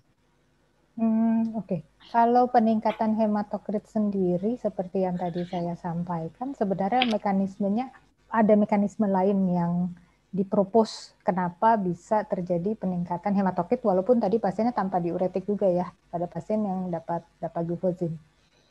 Uh, nah, jadi salah satunya adalah karena um, yaitu masalah eritropoietin pembentukan eritropoietin sendiri ya dari makula densa yang menyebabkan uh, hematokrit itu menjadi uh, bisa terjadi peningkatan. Jadi nggak murni hanya um, volume depletion yang kita anggap sebagai penyebab dari peningkatan hematokritnya ya. Itu apakah uh, kalau berapa persennya saya nggak tahu dokter Sesma ya untuk pemantauan karena rasanya kalau kita berpacu pada hematokrit saja nanti justru kita menjadi miss. Yeah. Apakah memang pasien ini dalam kondisi volume depletion atau tidak gitu. Karena mungkin untuk penilaiannya lebih ke tadi ya uh, seperti apa hipotensi ortostatik untuk penilaian apakah terjadi volume depletion gitu. Tidak hanya terpaku pada hematokritnya saja. Mungkin Dr. Erwin ada tambahan dok? Iya dok. Mengenai hematokrit. Saya menangkap pertanyaan ini karena kita sulit untuk menentukan volume depletion. Sekarang apa sih yang bisa kita pakai. Sebagai uh, parameter utama ya untuk uh, volume depletion. Kita nggak punya. Sehingga muncullah pertanyaan, jangan-jangan kalau hematokritnya naik itu ada volume depletion. Uh, menurut saya hmm. tidak bisa dipakai hematokrit untuk uh, menentukan bahwa terjadi volume depletion. Kalau dipakai sebagai salah satu parameter bisa. Tetapi kalau dipakai untuk parameter utama untuk volume depletion mm-hmm. itu sepanjang yang saya tahu itu tidak bisa. Okay. Jadi volume depletion eh, hematokrit yang naik itu tidak bisa dianggap sebagai volume depletion. Yeah. Tapi yang jadi masalah adalah volume depletion itu parameternya sulit sekali. Sulit. Yeah. Ya. Okay, jadi dong. menurut saya daripada kita berdebat tentang hal itu, sebelum kita berdebat tentang hal itu, sebelum uh, seperti yang dokter Ade tadi bilang, lebih baik kita mulai berhati-hati ketika pasiennya mendapatkan sudah mulai berat badannya turun, kemudian eh, apa namanya eh, simptom dari gagal jantungnya mungkin nggak kelas 1, tetapi kelas 2 mungkin kita sudah mulai mengurangi uh, apa namanya mengurangi uh, diuretiknya. Tapi kalau dia sudah ada hematokrit yang naik, mungkin pendapat saya adalah jangan bilang bahwa itu terjadi volume depletion, tapi carilah tanda-tanda volume depletion yang lain. Oke, okay. oke okay, dok. Oke, sebagai last statement nih dok ya, dokter Ade dan dokter Erwin sekaligus juga menjawab pertanyaan dari dokter uh, Widi terkait dengan DAPA dengan empagliflozin. Is it class effect or not? Although ini udah sering banget dibahas, tapi saya minta pendapat dari Dr. Ade dan Dr. Erwin, apakah class effect atau enggak, dan apakah ada pasien-pasien tertentu yang lebih baik mempergunakan DAPA, atau ada pasien-pasien tertentu yang lebih baik mempergunakan EMPA. Terima kasih dok, monggo. Dimulai dari Dr. Ade dulu, silakan. Oke, jadi class effect atau tidak hmm, tergantung dari mana kita melihat ya kalau kita bicara tentang MACE mungkin tidak memberikan hasil yang sama ya antara EMPA dengan DAPA. Tapi kalau bicara mengenai uh, CPDET ataupun hospitalization heart failure, maka mereka memiliki benefit yang sama, baik EMPA maupun DAPA. Jadi mungkin itu pendapat saya sih, Dr. Sasmaya. Oke, terima kasih Dr. Ade. Dr. Erwin, gimana dok? Class effect atau tidak? Dan ada pertimbangan khusus nggak? Pasien dapat DAPA atau pasien tertentu dapat EMPA? Kalau kita bicara tentang class effect, kita nggak boleh hanya bicara tentang DAPA dan EMPA. kita harus bicara Ini sesuai pertanyaan dok, sesuai request okay. pertanyaan. Enggak, ya, ya, enggak. Okay, okay. Kalau kita mau bicara class effect, kita tidak boleh hanya bicara tentang EMPA dan DAPA, tetapi harus ikut harus masuk ke masuk yang SOTA, dia harus kita harus masukin kanan dan satu lagi ada R2. R2 gliflozin ya. Jadi kalau kita mau lihat class effect, itu menur pada saat ini datanya menunjukkan itu bukan class effect. Karena R2 gliflosin tidak berhasil menurunkan uh, kematian kardiovaskuler pada pasien dengan ICVD. Tetapi dia menurunkan uh, hospitalisasi gagal jantung. Jadi kekuatan SGLT2 inhibitor itu terutama kalau mau dibilang class effect adalah pada hospitalisasi gagal jantung. Oke. Okay sekarang apakah DAPA dan EMPA itu sebanding atau boleh dipergunakan uh, bersamaan uh, sebagai pengganti? Uh, hasilnya mereka mempunyai hasil yang sama positifnya untuk pasien dengan heart failure dengan reduced ejection fraction. Jadi pendapat saya silakan dipilih salah satunya. Oke, okay. gitu. berarti in HFrEF uh, EMPA karena HFrEF beyond diabetes baru ada EMPA dan DAPA ya dok ya. Yeah. Berarti itu uh, dokter bilang boleh saling menggantikan dan saling mengisi yeah. ya dok. Gitu. Saya tahu ini pertanyaannya kenapa. Saya tahu kenapa ada muncul pertanyaan ini. Karena pada DAPA HF itu penurunan dari uh, mortalitas dan heart failure itu dua-duanya signifikan signifikan. Eh, bukan eh, tidak signifikan, bukan signifikan, tetapi kalau dilihat dari confidence intervalnya masuk dua-duanya, gitu. Sementara untuk EMPA yang masuk itu hanya confidence intervalnya itu adalah hanya untuk uh, hospitalization for heart failure. Hmm.